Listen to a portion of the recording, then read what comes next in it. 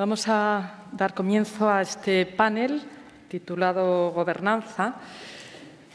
Y comienzo presentándome. Soy María José Canel, catedrática de Comunicación Política y del Sector Público en la Universidad Complutense de Madrid. Yo tenía cierta duda de si presentarme hoy aquí como parte de Torquisuna o como observadora externa.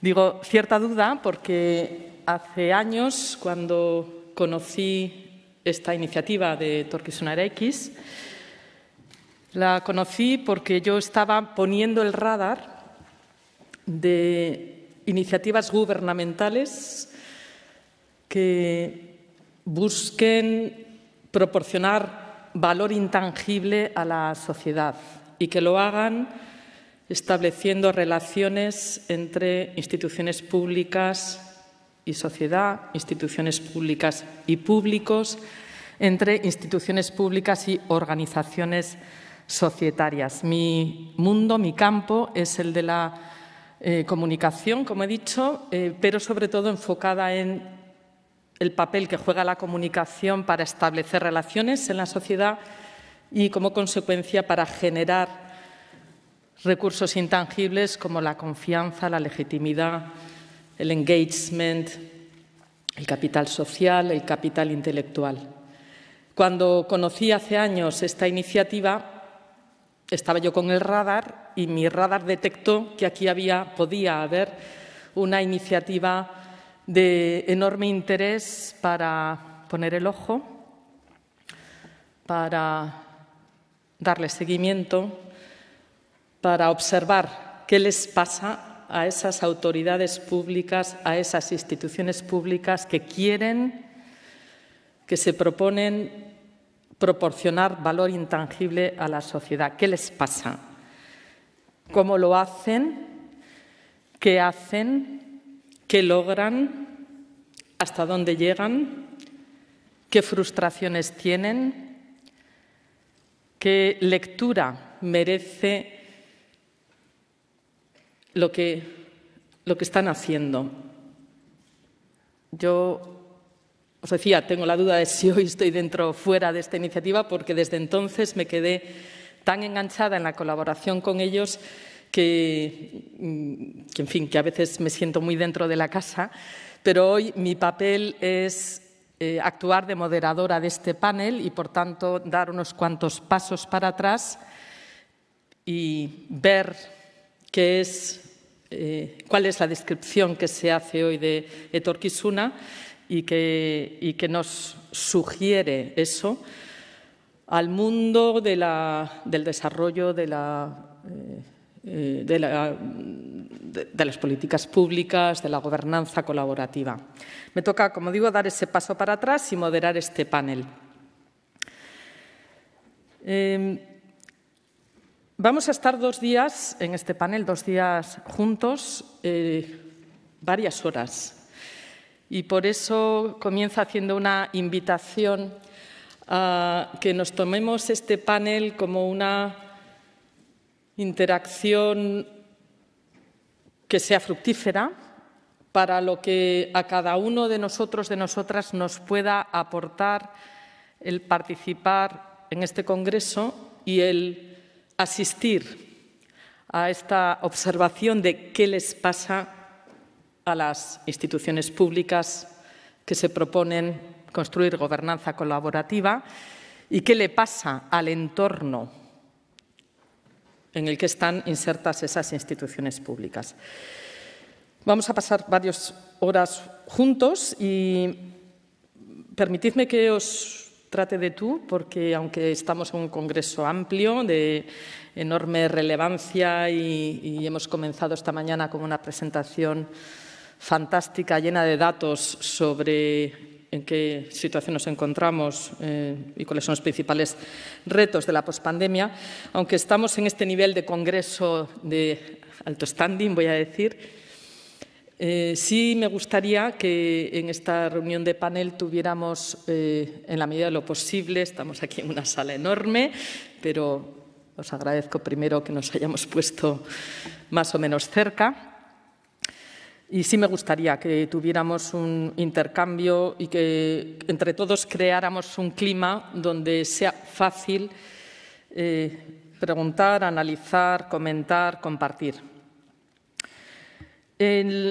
Explico la dinámica que está pensada por este Congreso, por la organización de este Congreso.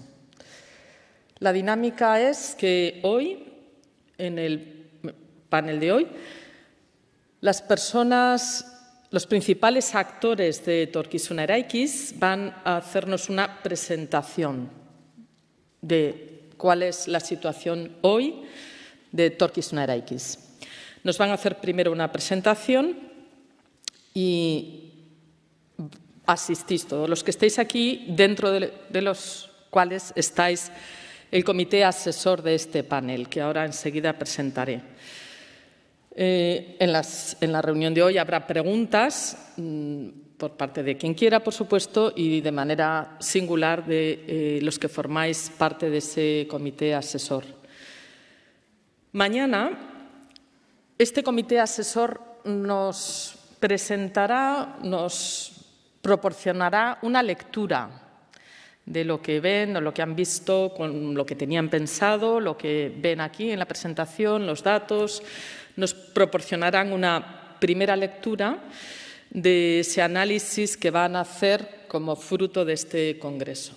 Mañana, por tanto, tendrán la palabra eh, los, miembros del comité asesor y, a continuación, se producirá un coloquio, una interacción eh, con la cual, de nuevo, entre todos y todas, vamos a, mirar eh, Torquisuna Eraikis eh, con mirada analítica, evaluadora, de aprendizaje, de búsqueda de preguntas.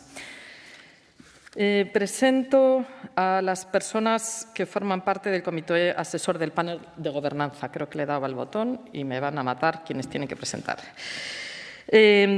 Los asesores y asesoras son Daniel Inerarity, catedrático de Filosofía Política y Social, investigador de Iker en la UPV y director del Instituto de Gobernanza Democrática Governance. Diego Moñux, perdón si no lo pronuncio bien, eh, cofundador y socio director de Science and Innovation Link Office, SILO. Gilmer Giovanni Castro Nieto, profesor investigador asociado de la Pontificia Universidad Javeriana en las áreas de proceso y teoría de la Administración y miembro del Consorcio de Inteligencia Emocional del País Vasco. María Zubeldia, directora del Centro de, Emprendizaje de la Said Business School, University of Oxford. Y finalmente, Sonia Ospina, profesora de Gestión y Políticas Públicas en la NYU, Wagner Graduate School of Public Service. Si no entiendo mal, estas personas están por aquí y son quienes forman parte de nuestro comité asesor. En la mañana de hoy hemos dividido, las personas que van a intervenir en este panel, eh, hemos dividido en tres bloques, dentro de, cada uno de los cuales habrá una, parte de, de interacción y de preguntas. En un primer bloque analizaremos el qué y por qué de Torquis donde nos explicarán por qué hicieron esto y qué se plantearon, qué quisieron, para qué lo hicieron y cuál es el modelo, la lógica del modelo. Y a continuación tendremos unos 15 minutos de diálogo. En un segundo bloque miraremos al quién y el cómo, quiénes son los principales actores y con qué iniciativas con qué acciones, con qué actividades, con qué proyectos eh, se está implementando ese modelo de Torquisuna. Y también después de esas presentaciones tendremos un rato de diálogo. Y por último, en el tercer bloque miraremos al futuro. ¿Cuáles son los desafíos, las preguntas, las propuestas que se presentan de cara al futuro. Y ahí tendremos de nuevo un diálogo ya más conclusivo. termino esta primera parte de intervención mía eh, y voy a dar paso a las personas que eh, comenzarán con este primer bloque. Van a intervenir eh, primero hablando del contexto, ámbito competencial y estructura básica de la gestión de Etorkizuna Eh, interviene Eider, diputada de diputada foral de gobernanza. Y a continuación, Sebas, que es director de estrategia de eh, Etorkizuna Muchas gracias.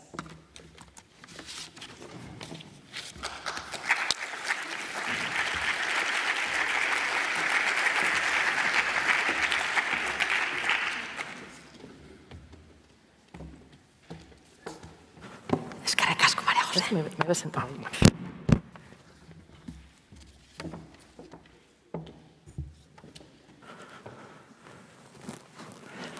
Egunon guztioi, eta, bueno, eskerrik asko gaur eh, onuntza etorri izanagatik, gurekin gaurko gogo eta saio honetan nik dana euskeraz egingo dut, voy a intervenir eh, en euskera, tienen la traducción simultánea para poder seguir la, la intervención.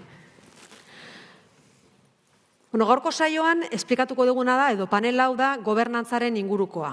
Badakizute beste hiru panel daudela, alegia lehenengoak ekonomiarekin zerikusia du, bigarrenak ongizate sistemarekin, hirugarrenak transizio ekologikoarekin eta laugarrena gobernantzaren panela da. Eta honek badu bere garrantzia, ze izan ere beste hiru panelak garrantzia handikoak izanik, dira etorkizunari begira zer egingo dugun gai hoietan, alegia zer egingo dugun ekonomiaren arloan, zer egingo dugun transizio ekologikoari dagokionez, zer egingo dugun ongizate sistemari eusteko. Beraz, zer egingo dugun. Baina gobernantzaren panel hau, hau ez da inbeste zer, baizik eta nola burutuko dugun lan hori guztia hain justu estiloa, alegia, lanketa hori nola burutuko dugun, eta honek badu bere garrantzia nola ez. Aurreko bideoan, aurreko bueno, eh, gogo eta orokorra egin denean, bideo bat ikusi dugu, non bi ikerlari, argazik ateratzen ari zian, zuaitz bat ikusten zan, da niri gustatu zaitze irudikatzen zuen zuaitz horrekain justu, bueno, aldaketa aipatze zan, zuaitz zaharra, zuaitz gaztea, aldaketaren beharra, Baina aldaketak egiteko sustrai sendoak behar ditu zuaitzak beti. Aldakeretara egokitzeko eta egokitzapena ere bai da gaitasunetako bat leno zintiak aipatu duna, egokitzeko gaitasun hori eukitzeko sendoa izan behar du zuaitzak, sendoa izan behar du arbolak eta sendoak behar ditu sustraiak. Eta hori da hain justu guk egiten dugun gogoeta. Alegia, Gero Sebasek e, estrategia zuzendariak aipatuko dizue zergatik egiten dugun aldaketa hau, gobernantzaren alorrekoa, baina ariketa honek, gaur egingo dugun ariketa honek, balio behar duenez, gure hausnarketaren, gure estrategiaren inguruko, e, e, bueno, e, estrategiaren berri zuei emateko ez bakarrik hori baizik eta kontraste ariketa bat egiteko, alegia ze iritzi duzuen gu egiten ari geran honen inguruan, ezinbestekoa dugu ezagutzea Gipuzkoa zer den ulertzeko zergatik burutzen dugun estrategia hau. Alegia, zergatik gobernantza jartzen dugun ekonomia, transizio ekologikoa edo ongit zate sistemaren pareko. Zergatik moduari, estiloari ematen digun garrantzia. Lanak aurrera emateko e, horri zergatik ematen dugun garrantzia. Eta horrekin justu zer ikusia du Gipuzkoak duen estiloarekin. Alegia, Gipuzkoaren ereduarekin.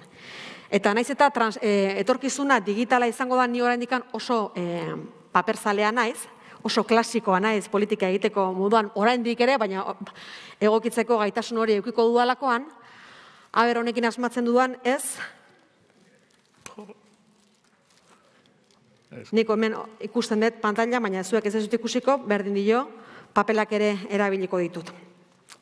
Gauza da, ipatzen dizuen bezala, ulertzeko zergatik egiten dugun hau, ulertu beharra dagoela, gipuzkoa zer den, edo zein den gipuzkoaren e, eredua. Aipatzen dizuen, zuekin kontrastatu nahi dugu gaur egun egiten dugun e, gogoeta, egiten duguen arik, ariketa, alegia, zuek zedate adituak, askotan hemen nire inguruan ikusten duen Mikel ikusi dut, adituak eta arituak eta kontrastelan hori zuekin burutu nahi dugu hobekuntzarako. Gipuzkoa eredua zer da alegia jakiteko zergatik burutzen dugu hau ezinbestekoa da Gipuzkoa ezagutzea eta Gipuzkoan nola edo ze ezaugarri nagusi ditu Gipuzkoak. Horra aipatzen da ikusten ez atzeko panelean lidergo handia duen lurralde badala, vitalidadea handia eta lankidetzarako gaitasun handia eta lankidetzarako gaitasuna ezinbestekoa dugu noski. Kapital soziala handia du Gipuzkoak eta hori ezinbesteko tresna dugu egiteko modu berri hauetan. Eredu sozioekonomiko propioa du, aitortua, eta hor e, guk beti aipatzen dugu, ekonomia beharrezkoa degula, koesioa lortu izateko eta txampor beraren bi arpegiak direla. Alegia, ekonomia bultzatu, ekonomia lagundu eta aldi berean gizarte babesa sendotu. Eta etorkizunari begira, oso argi daukagu Gipuzkoaren ereduak zein behar duen izan eta behar du izan lehiakorra, behar du izan berdinagoa eta behar du izan elkarlanekoa.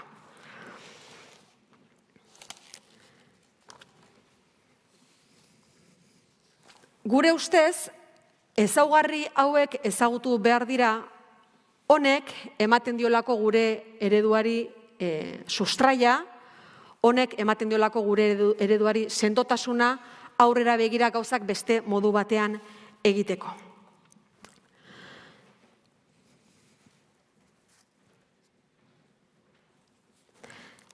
Ezaugarri batzuk aipatuko dizkizuet, datu sozioekonomiko batzuk gipuzkoakoak, gure biztanlegoa zazpireun mila eunda emezortzi, zazpireun da emezortzi mila sortzeun da laragoita zazpi biztanle ditu gipuzkoak, zero eta emeretzi urte bitartekoak biztanlegoaren euneko emeretzi dira, Emeretzi eta irurogeita lau urte bitartekoak biztanlegoaren euneko berrogeita emezortzi, eta irurogeita bost urtetik aurrerakoak biztanlegoaren euneko hogeita iru.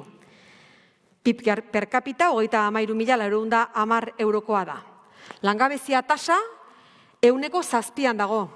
Gizonezkoetan euneko 6,zortzi eta emakumezkoetan euneko zazpi koma iru. Eta aktibidade tasa euneko berrogeita amasei. Eredu propioa daukagu ere, lanari begira alegia badaukagu eredu kooperatibo bat, bakarra dena munduan, hogeita amabos mila langile kontratatzen ditunak, gure langilegoaren euneko amaikak kooperatibaren baten lan egiten du. Bestalde batetik ere, gizarte antolatua oso aberatsa da, hogeita amar mila lagun ditugu, zazpideun mila biztanletik, hogeita amar mila lagun ditugu voluntario lanetan dabiltzanak, mila elkarte baino gehiago dauzkagu hirugarren sektorekoak, gini indizean ondo kokatuta gaude, hogeita boskoma iru, berdintasun indizea ere, berdintasuna genero ikuspegitik irurogeita amabikoma bost da, eta media Europan irurogeita azpikoma laukoa izanik, eta bizitzarekin satisfazio maila, zazpikoma irurogeita seiean dago. Horiek lirateke gaur egun guretzat e, gipuztuak dituen ezaugarri nagusiak. Eta ezaugarri hauetan tatik abiatuta jartzen dugu abian etorkizunarekiz estrategia bera. Gero sebasek orain jarraian esplikatuko duna. Baina nik irudikatu nahi dudana da e, eredu honekin, alegia etorkizunari begira gobernantzak eredu berri bat egin nahi baldin badegu, dain justu horretarako oinarri sendoak ikusten dizkiogulako. Aurreko bideoan ikusten zan bezala, zuaitz honek, gizarte honek, gipuzkako gizarteak, sustar sendoak dituelako aurrera begira. Eta gainontzeko panelak garrantzitsua diran bezala etorkizunari begira, gureak ere gobernantzakoak sekulako garrantzia du honek, adieraziko ditu digulako nola gauzak beste modelu batera egin, nola gauzak hobeto egin, hain justu elkarlanean oinarretuta, Gipuzkoan elkarlanera ohituta gaudela kontuan hartuta. Sebas orain zure emango nizuke hitza, estrategia azaltzeko zergatik eta nola egin degun e, gogoeta hau. Eskerrek asko.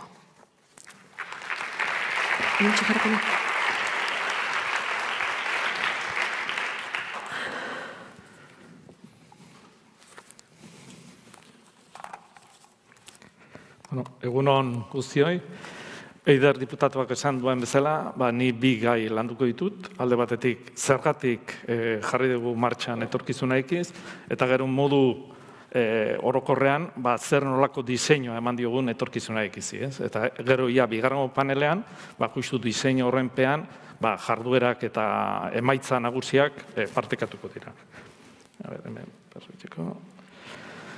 Bueno, e, neurri batean, ba, arraz, lehenengo arrazoia izango litzeke, ba, eider diputatuak aurkeztu duen e, turkiz, e, gipuzkako eredu hori e, mantentzea, errotzea, sendotzea izango litzeke lehenengo helburu bezala, ez? E, ola e, helburu bezala edo erronka bezala, ez? Baina, bueno, beste modu batea, eta hori, eredu hori neurri batean ere, ba, bueno, erasotzean gertatzen, gertatzen ari da, ez? Erasotata e, gertatzen ari da, eta berez, ba, alegin berezi batein bardeu hori errotzeko, ez?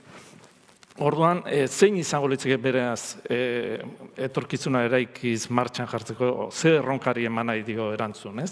Ba, bueno, hor, e, nik uste, e, agerian gelditzen dela, e, demokrazia liberaren krisia sakonea dela, e, globalizazio markoan gertatzen nahi den krisi hori sakona dela, eta etorkizuna ekizek lankitzazko goberantzatik modu apalean baldima da, ere horri erantzun nahi dio. Eta nola, ba, agenda publiko berri bat ere ikiz, lankidetzan eta esperimentazioan inoarritutako, ez?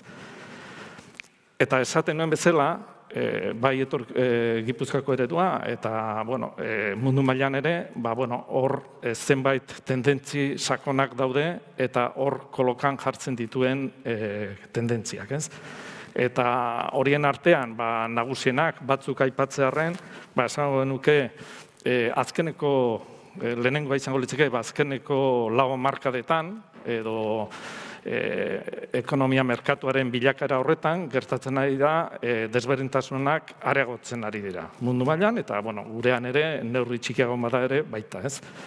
Eta neurri batean gertatzen ari da, ba, bai ekonomia finantziarioa, ba, ekonomia produktiboen aurrean nagusitzen ari delako, enpresa teknologikoak ere e, e, izugarrizko garrantzia hartzen ari dira, eta horren aurrean ba, e, korporazioek ba, boterea eta askoz e, haunditu dute, eta desberdintasunak e, haunditzen e, ari dira. Ez?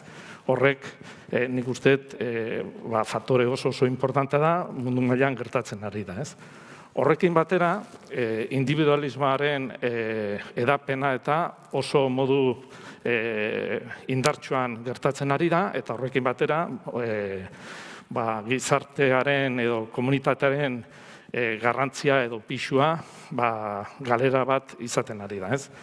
Orduan, bi elementu hauek, desbentasunak areagotzea eta komunitatearen edo izare komunitario horren e, galera gertatzeak, ba, lehen Gipuzkako ereduaren ba, erroan dauden e, bereztasun horiei ba, e, eraso egiten diez.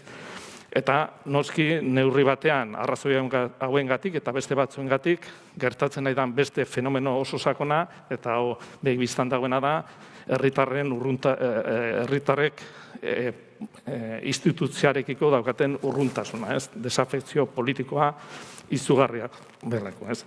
Eta e, politikatik, gobernutik ari garen ontzak, ba, hau izango litzeke, ba, elementorik importanteena, importantenetakoa, ba, etorkizunarekiz martxan jartzeko. Honekin batea eta goizeko plenarioan azaldu den moduan, e, gertatzen ari dira ba, beste e, tendentzi batzuk mundu mailan eta horietako bada ba, aldaketa abiadura bizian gertatzena eta modu sakonean, ez? Lehen aipatu den moduan. Eta horrek, bere, e, aldaketa horrek, e, azalaratzen ari da, e, bat zenbait erronka berri, edo erronka lehendik zeuden erronkaiek, modu berri batean agertzen ari dira, ez? Eta, bueno, gaur izan zehar, aipatu izan dira, e, horiek zeintzu dira, ez? Labur bilduz, esango nuke, ba, hor, e, sortzen, e, trans, iru transizioei, ba, aurre egin barriago, ez? Transizio e, sozial-demografikoa, transizio ekonomiko-teknologiko digitala edo transizio ekologikoa. Ez?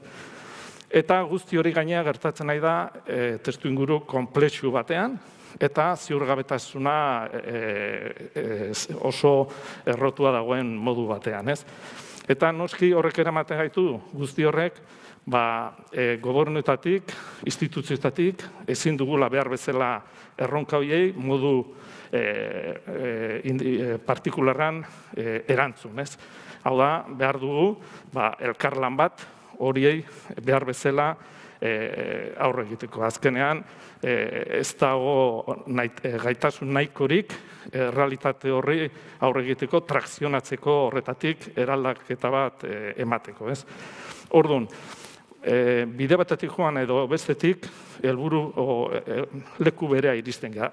Hau da, e, aztertzen badegu e, asuntoa gaia desafezio politiko horretatik, horrek ekartze, e, eskatzen diguna da, e, gerturatzea, parte hartzea, sustatzea, lankidetza, bultzatzea, eta baita eskatzen digu, ba, beren interesekin bat egitea, eta beren interesekin egitea, ba, benetazko e, arrazoi aurre eginez. Eh? Horrek berez ematen digu lankidetza e, sustatzera, eta neurri batean ba, agenda politiko berri hori eraikitzera. Eta lehen aipatu dugun ba, aldaketak e, e, giro horretan murgilduta bizitzeak ere, eramaten gaitu baita ere, e, lankidetza sustatzera, ba, gobernuak bere kabuz ezin dutelako behar bezala aurre egin horri, eta baita, e, bueno, e, arratzu hori aipatu ditugun agenda politiko berri hori erantzutea. Ez? Hau da, lankidetza eta esperimentazioa. Orduan, e, zein da hau izan da pixkat e, diagnostiko orokorra, e, zer bilatzen du etorkizuna ikiz? Ba, bueno, aipatu dugun erronka hori aurre egitea, ez? Modu apalean baldin bada ere, lankidetzasko gobernantzatik, e, lortu behar duguna da, neurri batean, baldintza ezar, berrezarri, ba, e, demokrazia hortan sakontzeko. Ez? Hori izango litzeke helburu oso potoloa, e, asmo oso potoloa, eta beste modu batean formulatuta, eta gaur izan zehar ere aipatu izan da, etorkizuna ekizek bilatzen du, politika egiteko modu berri batean egitea, errit, er, moduak aldatzea, e, eta hor beti ba, parte hartzea sustatuz, ez? Bai herritarrek modu zuzenean edo eragile ekonomiko eta sozialei, ez? Agenda politiko berri hori eraikiz. Bueno, oain arte aipatu ditudanak, ez dira Gipuzkoako e, tendentzi, e, Gipuzkoan ematen diren tendentzia, baizik eta esan bezala mundu mailan gertatzen ari dira.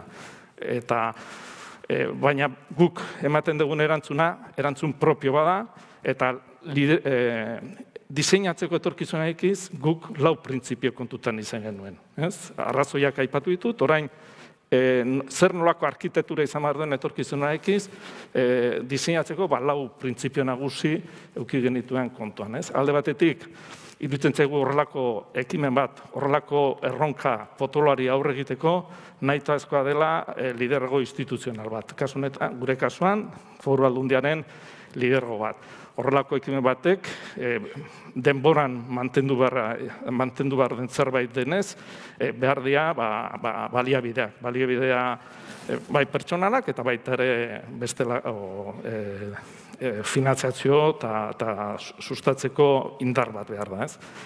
Bigarren printzipia da, e, etorkizuna ekiz, disinatzen du behar dugun hori, e, gure realitatean kokatu behar da. Lehen, e, Eider Mendozak esan duen errealitate horretan kokatu behar da, Gipuzkoako eredu bezala ditu dugun hor, egoera horretan, ez? Eta esan tenuen bezala, etorkizunak egin behar duena da, e, e, erroa, e, ba, sustraian dauden e, balioiek, ba, koesio soziala, eta bueno, lehiakortasun e, maila hori, eustea, e, gizarte kapital hori indartuz, ez? Orduan, e, lidergo publikoa importantea, impor, bezain importantea izango litzeke, izaera komunitarioa ere, e, sustatzea eta indartzea. E, bi alde horiek e, naita ezkoak dira e, gure diseinu horretan. Ez? Horiek izanik importantenak dian e, printzipioak, gero egin behar duguna da diseinatu zenbait espazio, zenbait gune, ba, e, modu irekian berrikuntza eta parte hartze hori gertatu da dein. Ez? Azkenean, etorkizuna ere esperimentazioa da, baina baita ere ikasketa e, e, prozesu bat izango litzeke, ez? Orduan, e, hori kontutan eduki behar dugu, ondo diseinatu espazio ezberdinak hori albideratzeko, ez? ikasketa eta esperimentazioa. Eta ezkenik, esan dugun bezala, e, e, bilatze, etorkizuna ikiz, e, bilatu behar duena, izan behar du, e, konfiantzazko harremana sortzea, horrek demokrazian sakontzeko e, bueno, e, lagun, e, lagungarria izan behar duelako, eta e, azken finean e, emaitzak lortu behar dira, balore publiko bat sortzeko. Ez? Orduan hori izango litzeke azken printzipia diseinatzeko. Eta, bueno, labur-labur, e, etorkitzenak izan e, arkitektura edo itxuratzen da. Bueno, hasierako diapositiba bat azaltzen zen, hor ere ikusten zen arkitektura hemen beste modu batea. E, Printzipio hori kontutan edukiz, guk diseinatu genitun hiru espazio nagusi. E, espazioa da gehi gipuzkoa taldean ditzen diogu, eta espazio, bigarrengo espazioa da gipuzkoa lab, eta birugarrengo espazio izango litzeke referentzia zentroak. E, hor, iru, ez da ondo antzematen, baina ongo litzateke hiru zutabe, hiru espazio horiek irudikatzen dutenak.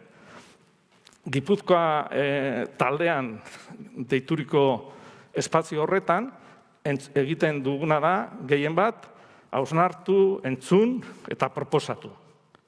Eta horretarako, gero azalduko ditugu, ba, ze tresna e, martxan jarri ditugu. Bigarrengo espazioan, Gipuzkoa lab deitzen duguna, hor gehien bat egiten duguna da, esperimentatu eta ikasi. Eta prozesu horretatik hor ematen da, proiektu esperimentalan bitartez. Eta horren berri ere, gero bigarrengo blokean, horren berri emango dizuegu. Ez? Eta hemen, ikasketa horretatik, esperimentazio horretatik, e, e, bueno, ondo ateratakoak eta ikasitakoak, ba, e, politika publikan txertatu alizateko. Eta hirugarrengo espazioa izan litzeke, e, e, erreferentzia zentroen espazioa edo proiektu estatikoen espazioa. Eta hor, e, bilatzen duguna da, e, neurri batean, esparru konkretu batzutan, estrategikoa diren esparru e, konkretu batzutan, ekosistema bat osatu, estrategi partekatua garatzeko. Eta estrategi partekatu horietan e, azpian dauden programa eta ekintza ezberdinak diseinatuz. Eh? Eta hor, aipatu izan dira, bai diputatu nagusiak eta beste izlari batzuk, zeintzu diren guk dauzkagun behatzi zentro horiek, ez? Eta, bueno, hoien berri ere emango ditugu, eta hor, e, hiru espazio horiek izanik, gero badau beste elemento importante bat, zeharkakoa dena, eta eragiten duena espazio guztietan eta proiektu guztietan. Eta hor, guk esaten dugu, proiektu guztietan eta espazio guztietan beharrezkoa diela alde batetik ikerketa, e, nazioarteko sareak sustatzea eta sozializazioari garrantzi handia ematea. Horiek dira zeharkako e, ekintza batzuk, e, nahi ezkoak direnak espazio guztietan, ba, ikasketa horretan lagundu alizateko.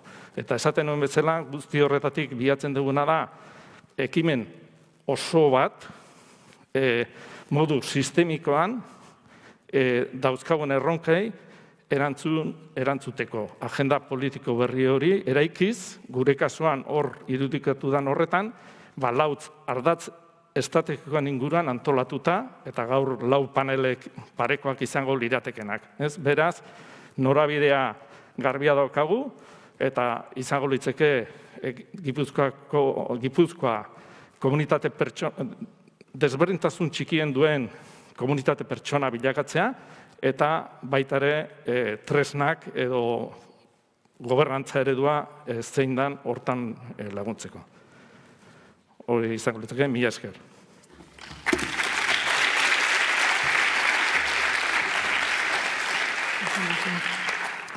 Muchas gracias, eh, Sebastián Eider, eh, por esta primera, eh, por esta introducción y esta colocación del marco. Esta mañana en ese vídeo hemos visto la presentación de Torquisuna según la metáfora del árbol, con esa propuesta de armonía entre en fin, la naturaleza y lo que desarrolla Torquisuna. Y acabamos de ver cómo ese árbol está estructurado conceptualmente.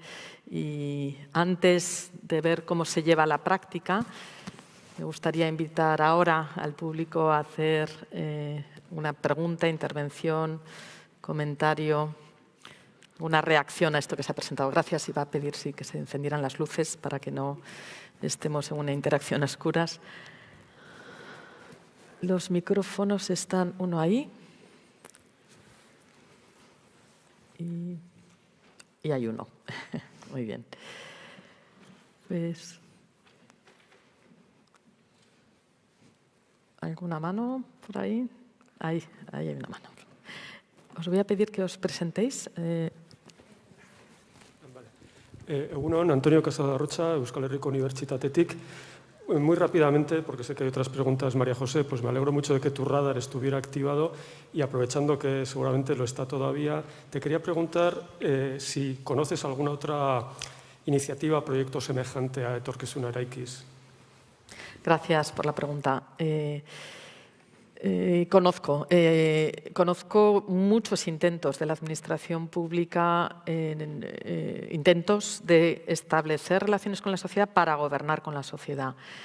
Y, es efectivamente un desafío que tienen las organizaciones públicas, cómo nos acercamos, cómo incorporamos, cómo gobernamos con.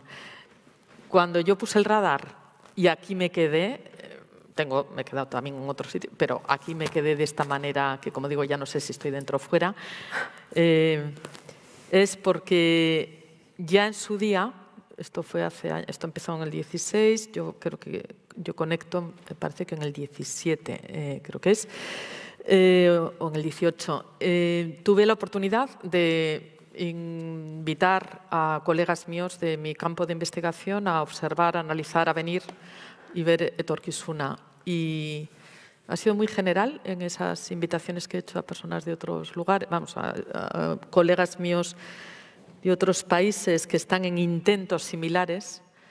Fue una reacción muy común de estas personas, la de decir, mm, este es un sitio donde compensa estar enganchado, porque se ve que aquí hay una iniciativa, en aquel momento lo decían a ver qué pasa, porque estas cosas empiezan y luego nunca se sabe cómo acaban. Lo que decían es, parece que puede ser una iniciativa que cierre el ciclo. Generalmente lo que nos ocurre en el ámbito de la administración pública, de, las políticas públicas, es que como los proyectos van ligados a quien ocupa el liderazgo político, pues son proyectos que a veces van y vienen, vienen y se van y no se terminan. Y, eh, por eso uno de los eh, elementos de análisis que yo tengo puesto sobre esta experiencia es cuánto se está logrando que esta iniciativa pase de ser de propiedad de, una persona concreta, de un equipo concreto, de unas autoridades determinadas, de un partido determinado, a ser propiedad de, de la sociedad, que es en principio lo que busca era X, gobernar con. Y en ese sentido mm, mm, considero que hay algo diferencial o algo que hace que merezca la pena eh, quedarse enganchado con lo que ocurre en Etorquisuna. Sí. No sé si estaría bien visto que completara la respuesta, María José. por mi ¿Lo parte, puedo hacer? muy bien vista. Por la última parte de tu intervención, me gustaría eh, completarlo con. ¿no? Tú comentabas, María José, que esto suele tener una fecha de caducidad, que suele estar ligado estos proyectos a una persona en concreto, a un equipo de gobierno en concreto. Yo considero, desde mi punto de vista, que el cambio ha sido tan sustancial, a pesar de que muchas veces nos cuesta mucho verlo, pero el cambio de estilo ha sido tan importante y los logros obtenidos por la colaboración han sido tan importantes y porque la colaboración va mucho más allá de la sociedad civil organizada, academia, sino que hemos conseguido también incorporar a partidos políticos de la oposición, a pesar de que el Gobierno foral tiene mayoría absoluta, es decir, lo puede hacer solo, pero hemos tenido el talento, no solamente los partidos del Gobierno, sino también los propios partidos de la oposición, de hacer un trabajo también compartido que está dentro de Torquizunara X. Es decir, tenemos creada una mesa política en la que participan todos los grupos políticos, sin excepción, en las que eh, reflexionamos sobre el futuro. Hemos identificado unos, unos asuntos que venimos trabajando, aprobamos iniciativas y las iniciativas se ponen en marcha. Con lo cual yo considero que tiene la garantía suficiente para que denominándose Torquizunara X o denominándose de otra manera en caso de que el día de mañana gobierne otro partido político pueda tener eh, también un recorrido, eh, porque bueno, pues tiene, tiene aval. Tiene aval y tiene mucho hecho también. Y desandar este camino que es interesante, que yo creo que también a la propia casa le ha hecho una aportación sustancial en la manera de trabajar, fundamentalmente a pesar de que todavía tengamos muchas cosas que hacer y que avanzar, yo creo que desandar el camino sería muy difícil. Gracias. Así espero que sea también, dicho sea de paso.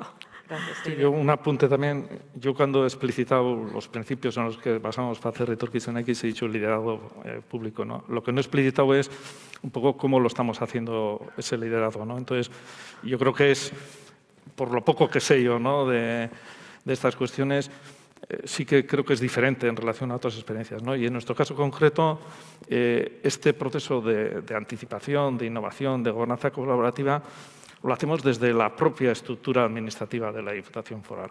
Yo, por lo que he visto, por lo, lo que conozco, eh, normalmente cuando se dan estos procesos se suelen eh, delegar en una agencia, ¿no? una agencia de innovación en la cual se producen pues, todos estos procesos y luego de la misma pues, bueno, se pueden trasladar a, otros sitios. ¿no? Entonces, yo creo, y mañana o hoy mismo también, ¿no? pues los expertos sí que me gustaría un poco en relación con esta cuestión, yo creo que es una singularidad, ¿no? que como podamos analizar, pues puede tener pues, unas ventajas, yo creo que muchas, pero lógicamente también puede tener esos inconvenientes. ¿no? Pero yo creo que es, parece desde mi conocimiento, pues un elemento singular de Torquizona X. Sí, como efectivamente, como mencionaba Sebas, uno de los puntos que, a mi juicio, son capitales en esta observación es, eh, os decía antes, ¿qué ocurre con estas entidades que se proponen esto? ¿Qué ocurre con la Diputación que se ha propuesto llevar a cabo esta innovación eh, me, desde la propia estructura de una entidad administrativa y administración pública, que en fin, eh, los que estamos en este mundo sabemos lo complicadísimo que es eh, adaptar cambios en la gestión. Eh, creo que había una palabra eh, pedida, sí. Mi nombre es María Zubeldía y soy la, la, directora del Centro de Emprendimiento de la Universidad de Oxford. Gracias, María. Tengo bastantes eh, preguntas, pero bueno, me voy a centrar eh, en principio en dos que hacen más referencia a lo que es a la visión, quizá vayan más para, para mm. Pero bueno, antes quería eh, felicitaros por la iniciativa, ya que me parece un gran ejemplo de innovación abierta en toda regla. Entonces, bueno, por la parte que os toca, eh, felicidades. A ver, eh, mi, duda con respecto a la visión tiene como dos, es una doble cuestión. Por un lado, si pudierais visualizar esta iniciativa dentro de 15 años, ¿Qué sería para vosotros el éxito y cómo lo podríais valorar? Y en segundo lugar, yo también bueno, tengo experiencia, he trabajado en una agencia de innovación en Navarra y he liderado este tipo de iniciativas. Y siempre es complicado ese papel de liderazgo combinado con esa facilitación para que realmente la iniciativa tenga éxito. Entonces, ¿cómo visualizáis ese papel, esa combinación entre el liderazgo con esa parte de facilitación para, para garantizar el éxito? Gracias. Gracias, María, por las preguntas que son complicadas. Claro, cuando me preguntas cómo ve la Diputación dentro de 15 años una iniciativa como Etorquizunar X, pues es algo que me suelo preguntar muchas veces. ¿Por qué? Porque tiene su complicación. Efectivamente, cuando nosotros ponemos en marcha Etorquizunar X con la idea de compartir ¿no? una visión de la actualidad y también compartir reflexiones de cara al futuro para preparar el territorio de cara al futuro, eso significa que no solamente vamos a reflexionar de manera compartida, eso significa que no solamente vamos a identificar eh, proyectos de manera compartida, eso significa que no solamente los vamos a poner en marcha de manera compartida, sino que también vamos a compartir poder. Una administración pública en la que gobiernan unos partidos políticos que se someten a la voluntad popular de las Juntas Generales de Guipúzcoa, en este caso a un Parlamento, eh, tienen que ser conscientes de que cuando ponen en marcha un proceso de este tipo, comparten poder. Cuando ponemos en marcha iniciativas de participación ciudadana, es para, también para compartir poder. ¿Es para hacerlo mejor? Sí, pero también vamos a compartir poder. ¿Cómo se consigue el equilibrio? Pues eso es difícil. ¿Por qué? porque yo todavía sigo, sigo convencida de que una administración pública que representa a la ciudadanía tiene que tener todavía una visión general que va mucho más allá del interés particular de cada una de las personas que pueden participar en un proceso de participación de ciudadana, del tipo que sea. Pero también considero que eh, una administración pública como la nuestra eh, va a acertar mucho más en los retos de futuro cuando esa visión la comparte con la ciudadanía. Por lo tanto, el equilibrio es difícil. ¿Cuál considero que sería el éxito dentro de 15 años? Pues considero que sería un éxito si cambiáramos las dinámicas de funcionamiento. Antes, eh, lo decía la propia María José también y en el panel anterior también el propio diputado general lo ha comentado, sé que cada vez tenemos una sociedad más individualista. Sebas, tú no has parado de decirlo también. Un territorio como el de Guipúzcoa, eh, que ha colaborado mucho y, es un signo distintivo del propio territorio, que de repente pase a funcionar en el individualismo y en la inmediatez, es decir, soy yo y encima lo necesito rápido, ¿cómo se cambia de rumbo? Es muy difícil. Es muy difícil. Pero no lo es tanto o no, no debería de serlo si somos conscientes de que esa colaboración, ese cambio de rumbo da sus frutos. Entonces, bueno, pues yo creo, en mi visión particular, también interesada evidentemente, porque todo aquello que pongamos en marcha de esos frutos, yo sí que creo que está dando frutos. Yo sí que creo que hoy en día ya es un éxito que proyectos que en su día eh, se pusieron en marcha a través de la reflexión, que hoy o que se pensaran en su día, hoy ya son una realidad, como son los centros estratégicos, ¿no? los centros de referencia. Hoy son una realidad y van a hacer una aportación sustancial a la economía, a la sociedad de Guipúzcoa. Yo creo que es un éxito ya.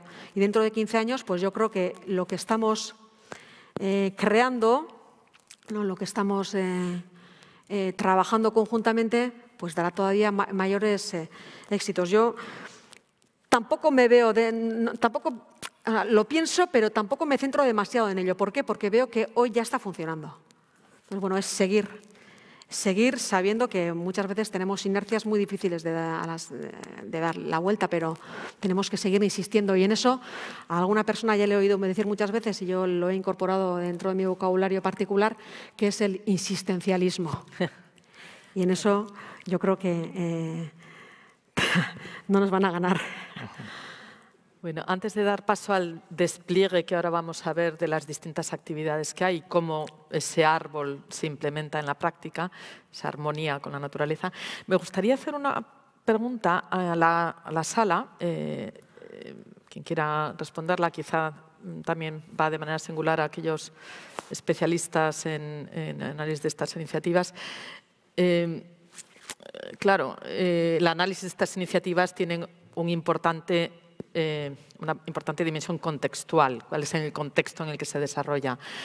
Eh, cuando personas que nos dedicamos a este mundo y al em, desarrollo de experiencias de gobernanza colaborativa o de programas gubernamentales que implican a la sociedad en la toma de decisiones públicas o en la gestión de lo público, cuando nos acercamos a esta experiencia y vemos estos factores contextuales, donde hay un nivel de riqueza, un nivel de desarrollo educativo, un nivel de empleo, por mucho que digan que la sociedad es individualista, esta sociedad tiene una tradición de colaboración mayor que en otros lugares. Las personas que nos acercamos a esto desde fuera decimos, qué envidia, es que así cualquiera desarrolla este tipo de iniciativas. ¿Qué consideráis los que estéis aquí? Eh, si hay alguien que quiera hacer algún comentario sobre esto. ¿Qué de esta iniciativa es eh, solo atribuible al lugar en el que se desarrolla. No sé si alguien quiere decir algo. O igual me he lanzado con una pregunta. Pero hay que animar a la gente.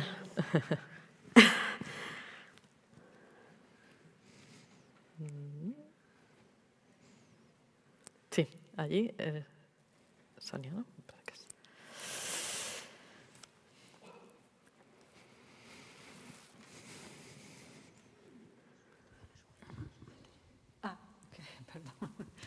Eh, Sonia Ospina, eh, bueno, sabemos que existen muchas experiencias de em, de gobernanza colaborativa en todo el mundo y que todas tienen muchísimos retos. Y cada una tiene un contexto que, empieza en un punto mayor o menor de privilegio. Y esta pues empieza muy bien, pero hace que sea em, un esfuerzo que nos muestra las posibilidades de la riqueza que ya existe y de cómo hacer que estas se, se capitalicen. Por lo tanto, puedo ofrecer lecciones muy rápidamente que en otras partes toman más tiempo. Entonces, en ese sentido, creo, creo que es una gran contribución. Gracias, Sonia. Muchas gracias.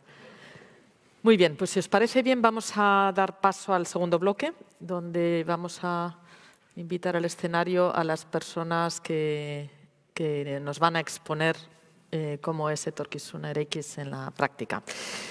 Vamos a comenzar.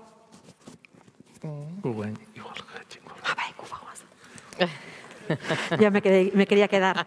Es que Gracias.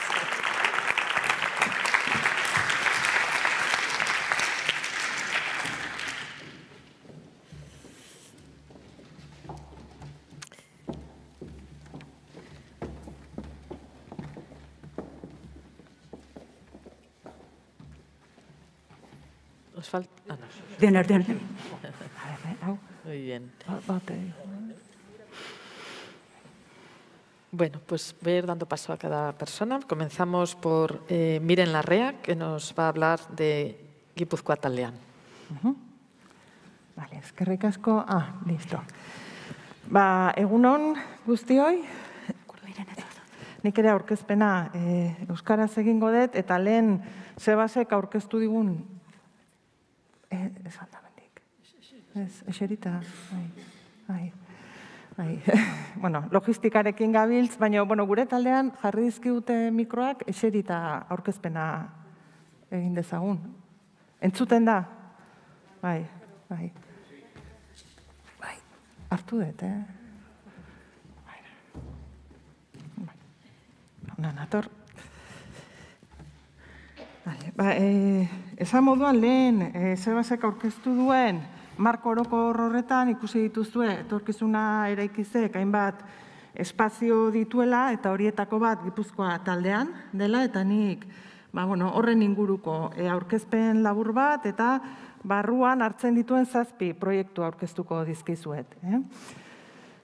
Eta bueno, Sebasek ere esan duen moduan zer da Gipuzkoa taldean. Azken finean, etorkizuna eraikizek hautatu duen moduan proiektu batek lankidetzazko gobernantza hautatzen duenean, sortu beharra ditu eta abian jarri beharra dauka hainbat espazio eta prozedura lurraldeko eragilekin eta herritarrekin dialogoa garatzeko. Eh? Eta dialogoa diogunean, ba, behin baino gehiagotan entzun dezue, entzutearen garrantzia, baina esango genuke baita ere, entzun den horren arabera erantzutearen garrantzia baita ere, eta ondorioz, entzute eta erantzute dialogo prozesu hoietaz, eh? ari gara Gipuzkoa taldean aipatzen degunean.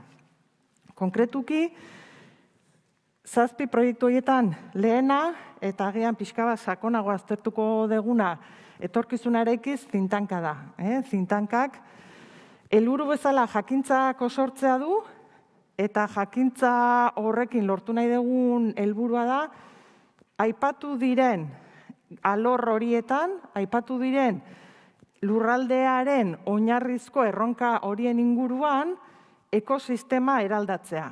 Eh? Beraz, entzun eta erantzun horien era, e, helburua ekosistema eraldatzea, litzateke. Horretarako, ekintza ikerketa hautatu dugu metodologia bezala. Eta ekintza ikerketak hiru oinarri nagusi ditu. Eh? Lehen aipatu da proiektu guztietan dagoela e, ikerketa eta jakintza berriak osortzeko alegina. Baina kasu honetan metodologia honek hausnarketa eta jakintzaren konsortze horrekin batera ardatzean jartzen digu ekintza. Eh? Ekintza eta aipatu egun bezala politiken eraldaketa, politiken ekosistemen eraldaketa. Baina ekintza ikerketak, ikerketa eta ekintzaz gain, hirugarren zutabe nagusi badu, eta berau parte hartzea da. Eta nolari gara parte hartzea gauzatzen, hainbat deliberazio prozesu jarri dira abian, lau erronka nagusien inguruan, e, bakoitzaren inguruan deliberazio prozesu bat, eta deliberazio prozesu horietan aldundiko arduradun politikoak, eta hor, diputatuak eta beraien taldeak, e, ari dira deliberazio prozesuetan ekosistemako eragileekin. Eta elkarrekin aztertzen dituzte arazoak, eta horrek indargune bat sortzen du, gero hor sortzen den jakintza hori batzutan transferentzia hitz egiten dugu. Jakintza gune batzuetan sortzen da, eta beste batzuetara transferitu egin behar da. Metodologia honekin transferentziaren beharrik ez dago, jakintza kosortzen ari direnak erabakitzaileak direlako, ekosistemako eragileak eta aldundiko eragileak. Eh? Beraz, metodologia honekin ari gara, eta hor, kosortze prozesu horretan, beste ezaugarri bat, hiru jakintza mota e, uztartzen saiatzen garela. E, alde batetik, aditu, jakintza aditua deitzen dugu, baina jakintza teoriko kontzeptuala, erakarri nahi dugu, munduan sortzen ari den puntako jakintza ekarri nahi dugu gure deliberazio prozesuetara, baina aldi berean, eragileok esperientziatik dugun jakintza txertatu nahi dugu, eta guzti hori posible egin izateko jakintza metodologikoa edo prozesuko jakintza ere erabiltzen dugu. Eta jarraituz pixka bat egitura ere hor daukazue, zintankaren egitura, oinarrian dauzkagu aipatutako lau deliberazio taldeak, deliberazioien jarduna koordinatzeko hor daukazue zuzendaritza talde bat daukagu eta zuzendaritza talde horretan lantzen ditugu baita ere ikerketa eta difusioa.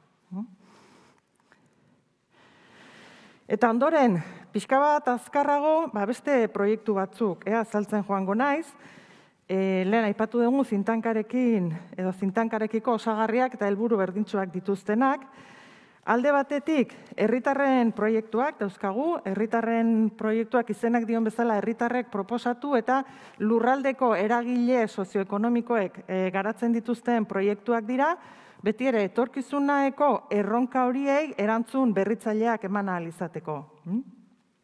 Horiekin modu osagarrian lehen aipatu dira baita ere aurrekontu irekiak, berriro parte hartzea bultzatzea dute helburu eta parte hartze horren bidez urtero bosei proiekturen inguruko erabakiak eta proiektuen hautaketa e, garatzen da. Eta bi proiektu hauek e, nolabait kanpora herritarren parte hartzea e, bultzatzen dute, baina eraldaketa, bueno, lehen aipatu dira, hainbat erronka eta eraldaketak e, aldundi barruan ere erronka garrantzitsuak e, sortzen ditu, eta hori erantzun ematen joateko e, ekinez ikasi ekimena, dago baita ere, ba, nolabait e, entzute e, ariketa baten bidez eta dialogo ariketa baten bidez e, aldundia ere eraldatzen joateko. Mm? Ondorengo proiektua lurralde garapeneko laborategia da.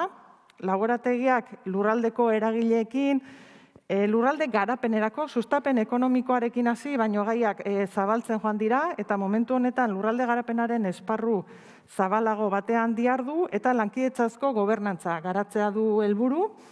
Gobernantza hau maila anitzekoa da, eta eskualde agentziak ere barne hartzen ditu, eta baita Badibidez, Eusko Jaurlaritzarekin hainbat lankidetza prozesu edo Eusko Jaurlaritzaren inguruko beste agentzia batzuekin ere bai. Eta honen osagarri, udal etorkizuna eraikiz, aldundia eta e, udalen arteko saretze prozesua bultzatu nahi ditu etorkizuna eraikizeko ikasketak udaletara ere eramanez. Eh? Eta azkenik, ba, bueno, alderdi politikoen maila dago, lehen galdera erantzunetan eiderrek azaldu dizue, eh? pixka bat, eta azaldu du mai honen garrantzia, ba, etorkizunera begira ba, prozesuak jarraitu dezan. Hm?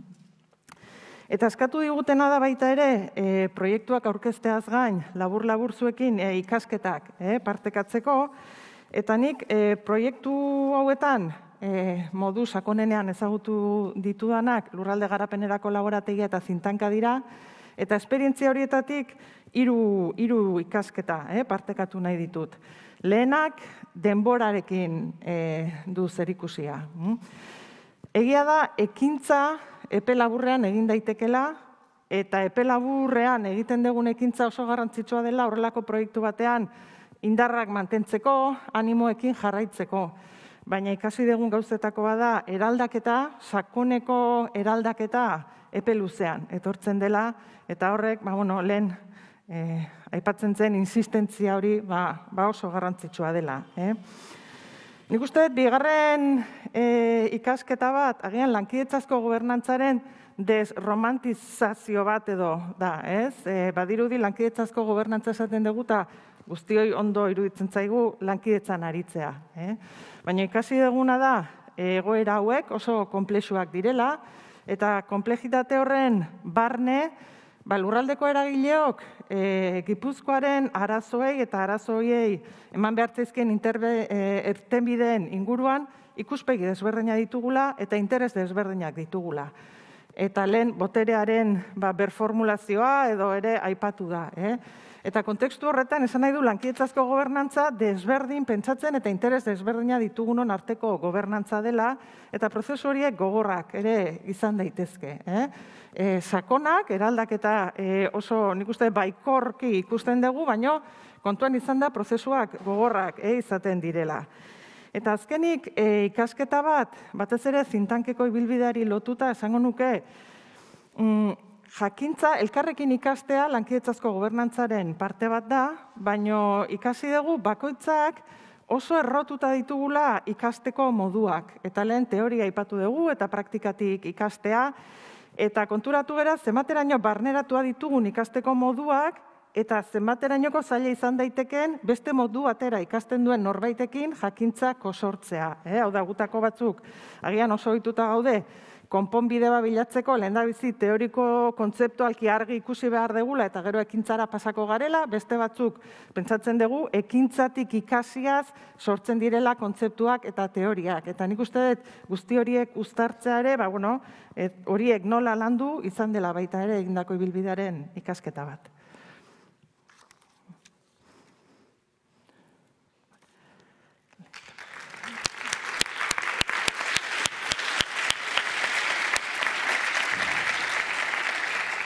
Muchas gracias, Miren. A continuación vamos a escuchar a Olat Serraskin, que va a hablar de Guipúzcoa Lava.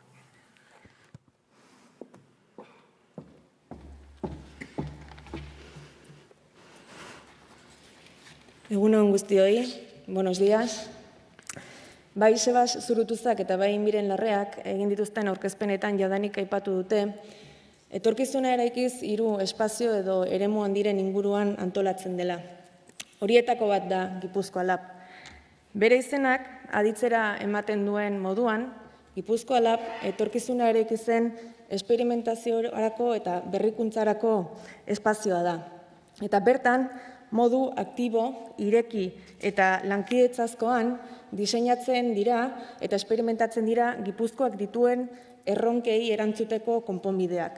Eta hortik sortzen diren ikasketa, ekarpen, eta e, berrikuntzako e, soluzio horiek ondoren e, gure politika eta programa publikoetan txertatzen dira.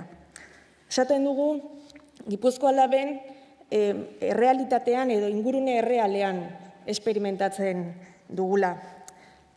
Gipuzkoa labeko e, esperimentazio unitatea proiektu esperimentalak dira. Proiektu esperimentalak diseinatzerakoan erreferentziako e, marko batean e, diseinatzen dira. Besteak beste, aurretik e, aipatu dudan moduan, Gipuzkoak dituen erronkei e, erantzuna eta konponbideak ematera datoz, beraz, gure plan estrategikoak e, markatzen dituen lehentasunetan eta erronketan e, erronkekin lerrokatzen dira. Eta gainera, besteak beste, hogei hogeita mar agenda, e, Europar batasunaren misioak eta Eusko Jaurlaritzaren zientzia eta teknologiaren planak ditugu erreferentziatzat. Proiektu esperimentalek hiru ezaugarri nagusi dituzte. Hiru baldintza dira. Lehenik eta behin partenariado edo lankidetza talde batek sustatu behar ditu. Eta lankidetza talde horretan Gipuzkoako Foru Aldundiak partaidetza eta implikazioa izan behar du. Bigarren baldintza da esperimentazioa hitz egiten ari garen einean, ikerketaren presentzia bermatu behar dela proiektuaren gauzatzeko fase ezberdinetan. Horretarako gutxienez eskatzen da lurraldeko unibertsitate batek parte hartzea proiektuan zehar.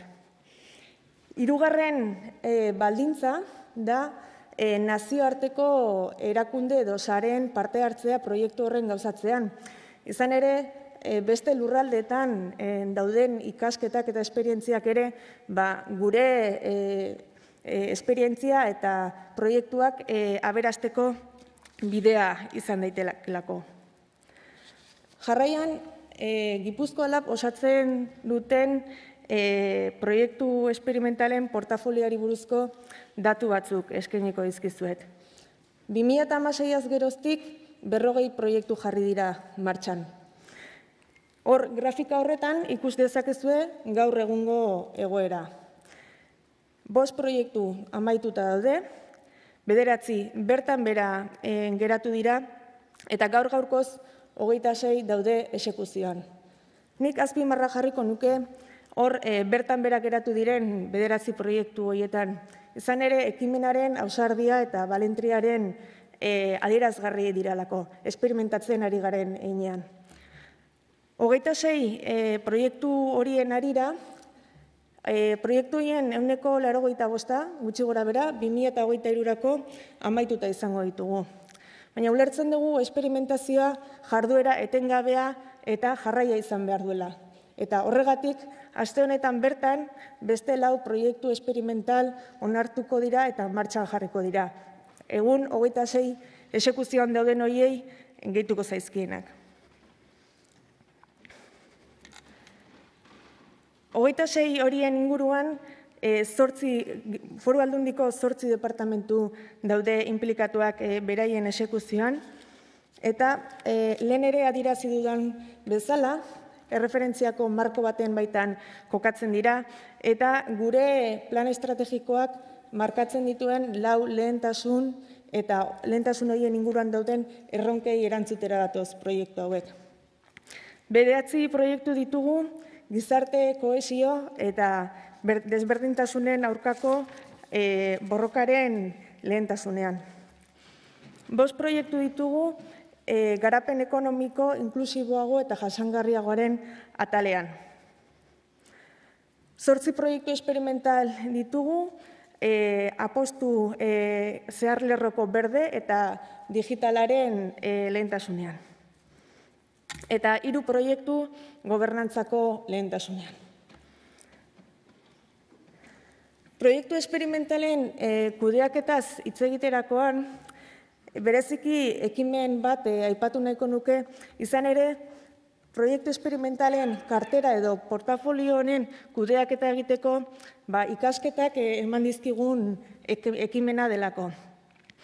2008an, EIT Climate Kick eta Gipuzkoako eta Eusko Autonomia Artidekoko e, erakunde eta e, eragileekin batera, Gipuzkoa Deep Demonstration izena duen ekimena jarri genuen martxan.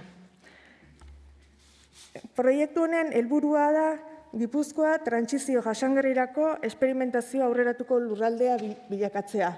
Bada erronka. Eta 2008 batera begira, ariketa interesgarri bat e, egin dugu. Eta hor ikusten duzuen, kubo horretan mapatu ditugu gure proiektu esperimental ezberdinak. Eta hortik atera ditugun ikasketak izan dira, besteak beste, portafolio honen kudeaketan ikuspegi sistemikoa izan behar dugula, hau da, proiektu utxari begiratu beharrean, sistemari begiratu behar dugula eta logika horretan lanean hasi behar dugula. Bestalde, proiektuen arteko konexioak eh, haunditu behar ditugula impactua ere haunditu alizateko, Eta hirugarren ekarpena izan da e, aldaketa sozialaren aspektu hori kontutan hartu behar dugula, izan ere askotan teknologian zentratzen gara, baina teknologiaren eragina e, handitzeko aldaketa soziala behar da. Gainera, egindako ariketa horrek beste bin lan hildo martxan jartzeko aukera e, ematen digu eta momentu honetan bi misio definitzen ari gera bat e, misio bat da e, mugikortasun berriarena eta bestea e, e, elikadura jasangarriarena.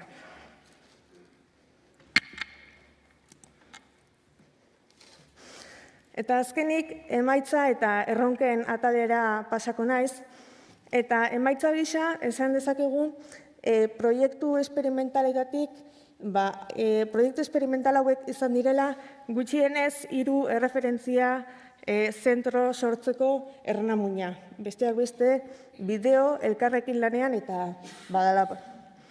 Gainera, e, proiektu esperimentalek lagundu digute Gipuzkoarako e, baliagarriak diren modelo eta soluzio berriak sortzen.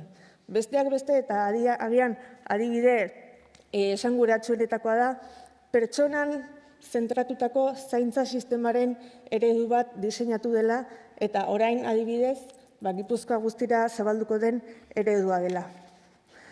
Eta oroar, proiektu esperimentalak lagutzen ari zaizkigu gure politika eta programa guztiak e, berritzen eta e, berdefinitzen. Hala baina, erronkak ere baitugu.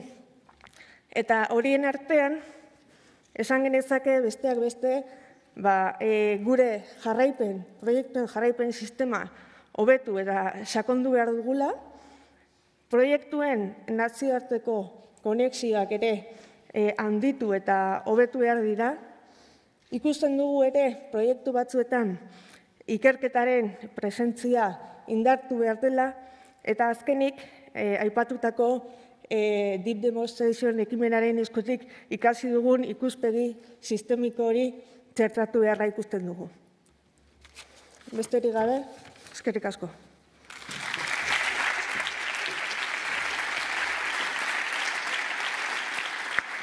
Muchas gracias, Olatz. Eh, Nayara Goya nos va a hablar de los centros de referencia.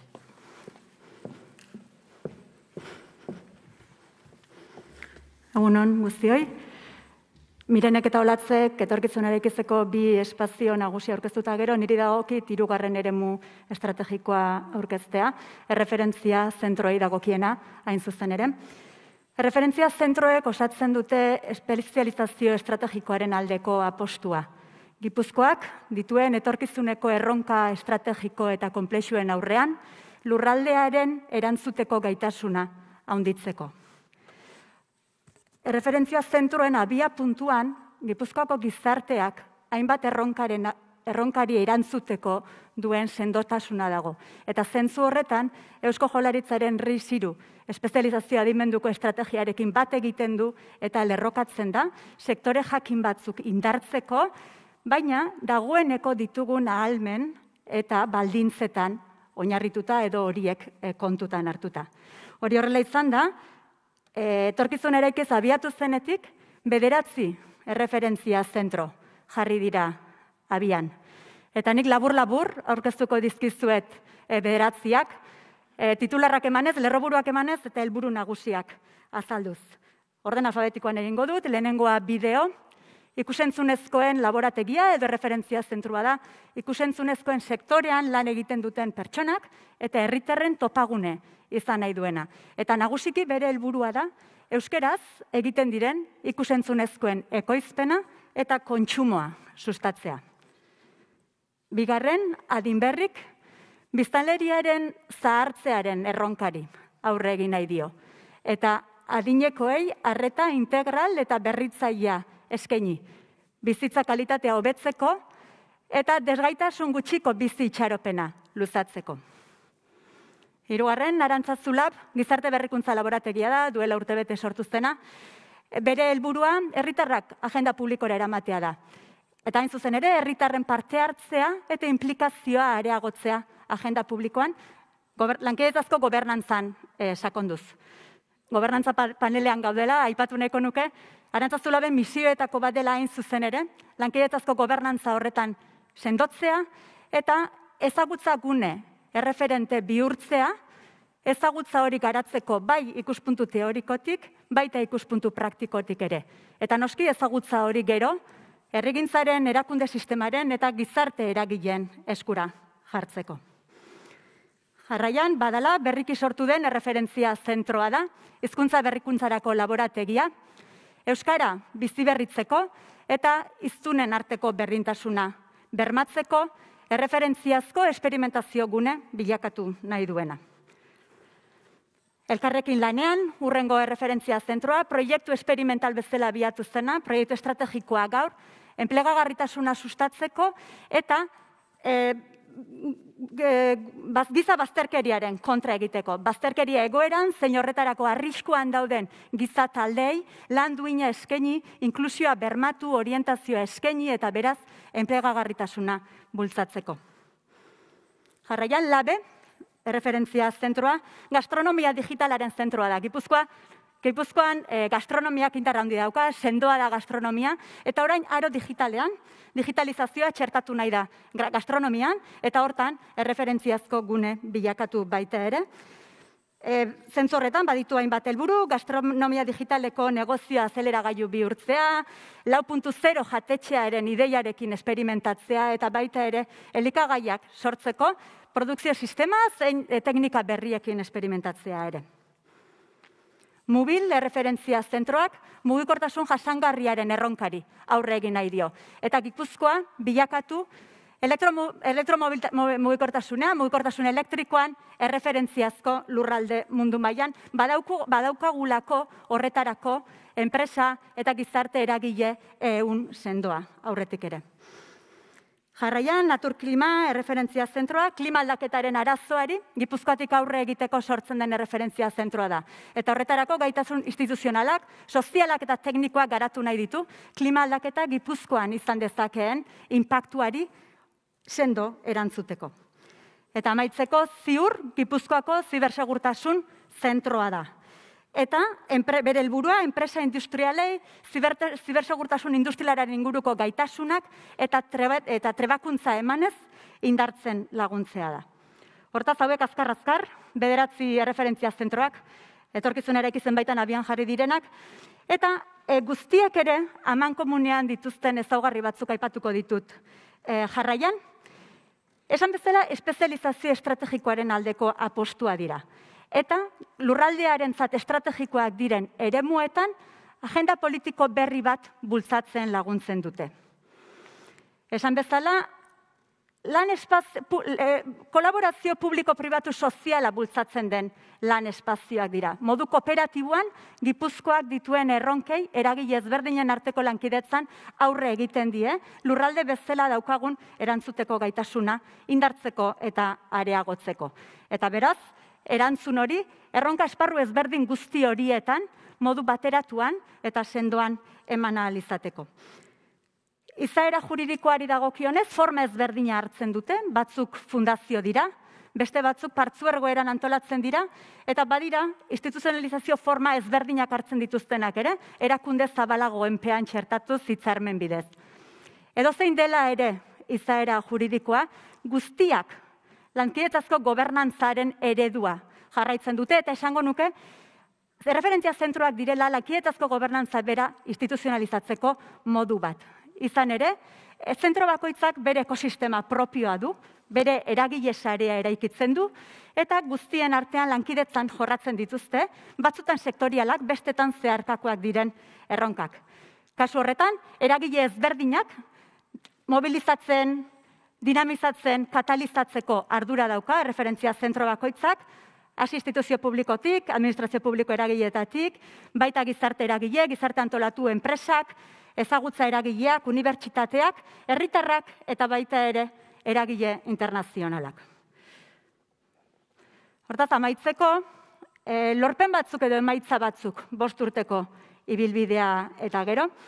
Esan dezakegu, egun, baditugula, etorkizuna ere ikitzen baitan, bederatzi referentzia zentro, kontsolidatuak, sendotuak, aktibatuak, eta guztiak ere, etorkizuna ere ikitzen dinamikan eta logikan ondo txertatuak. Esan bezala, lurraldeko erronkei erantzun bateratua emateko espezializazio estrategikoa da, sustatzen dela, eta lan eredu, harremantzeko eredu berria, berritzailea eta komuna erabiltzen dute guztiek ere. Hain zuzen ere, lankidetzazko gobernantzan oinarritua dena. Lan hildoi dagokienez, antzeko lan hildoak jorratzen dituzte. Bakoitzak bere sektorean, bakoitzak bere espazioan. Ikerketa edo ezagutzaren garapena. Eta esperimentazioa honek aparteko lekua hartzen du, laborategi izaera dute, erreferentzia zentroek. Bertaz, beraz, er, esperimentazioa bai edukietan, egiteko moduetan, metodologietan, bere biziko garrantzia dauka, eta badire espazio askeak esperimentazio hori egiteko, hori libreki egiteko. Eta amaitzeko, divulgazioak, formakuntzak eta batzuetan ekintzaileitasunaren sustapenak ere, beraien lekua dauka. Emaitzak, onak izanik, positiboak izanik ere, badira, etorkizunera begira ditugun erronkak ere. Eta hiru dira hemen jaso ditugunak.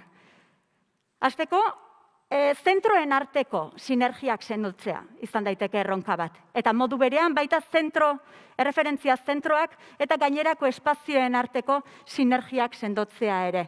Hau zertarako, bueno, eina handi batean proiektuen eskalagarritasuna, impactua areagotzeko, ezagutzaren transferentzia hori espazio batetik bestera modu eraginkorragoan egiteko adibidez.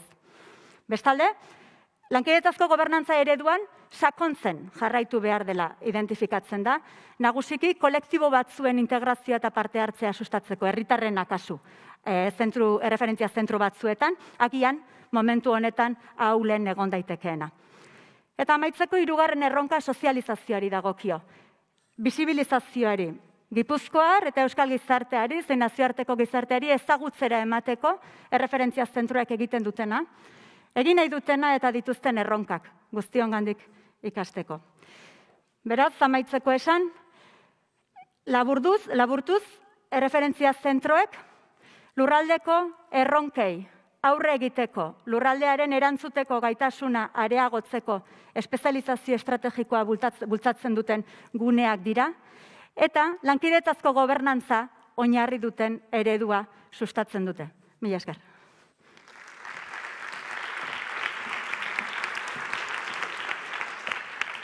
Gracias, Nayara.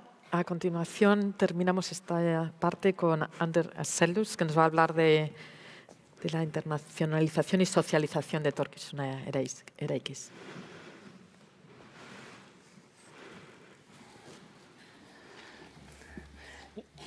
Egunon, ni hain zuzen ere itzain behar dut akademizazioaz, internazionalizazioaz eta.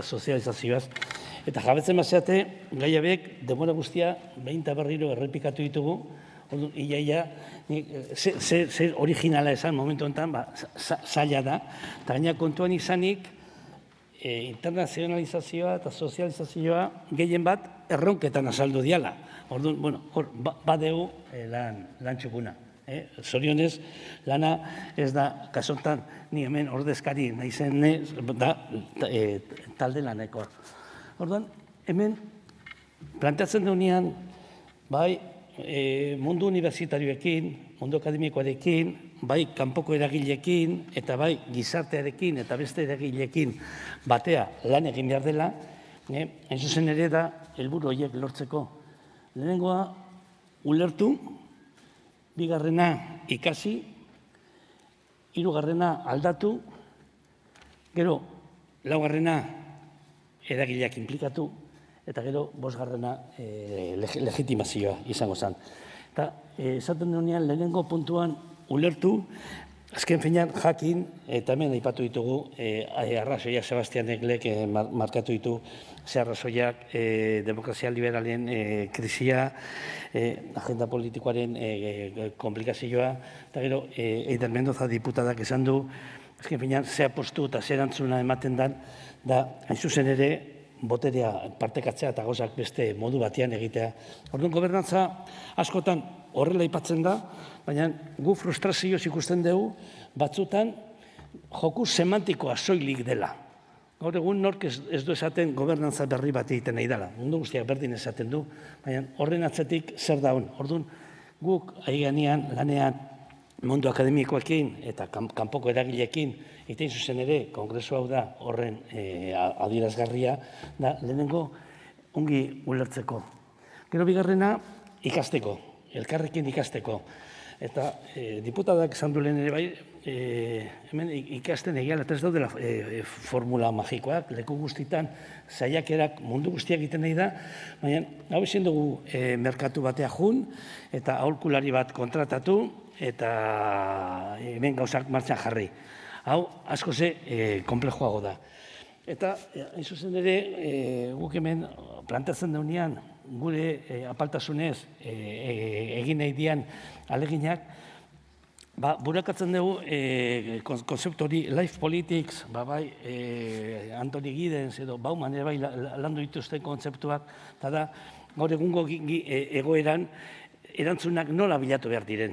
Eta aldotatikan, e, eta e, pertsonen eta e, erakunde txikien eta e, norbera eta ma, e, gure maileko erakundeen e, implikazioa eta e, modu aktiboan egon daitekeen e, solidaritatea. Eta horregatik gu plantatzen duenean hori nola egin behar den, gu ba, balio isogarrizkoa eta e, oso handi ematen digu unibertsitatearekin egiten nahi gean e, lanari. Eren, miren larrea orkestrako e, ordezkariak aipatu du action learning. Bueno, urte asko daramagu horrelako prozesuetan, nun aia lanean elkarrekin ba, mortalak eta mundu akademikoa lanean partekatuta ditugun e, arazo batuetatik e, abiatuta. Eta gero hemen baita ere ba, e, hor planteatzen duguna e, nazioarteko gobernantzako sarea. Gaur du lehenengo bilera, ratzaldean berriro bilera, hortik ikasteko.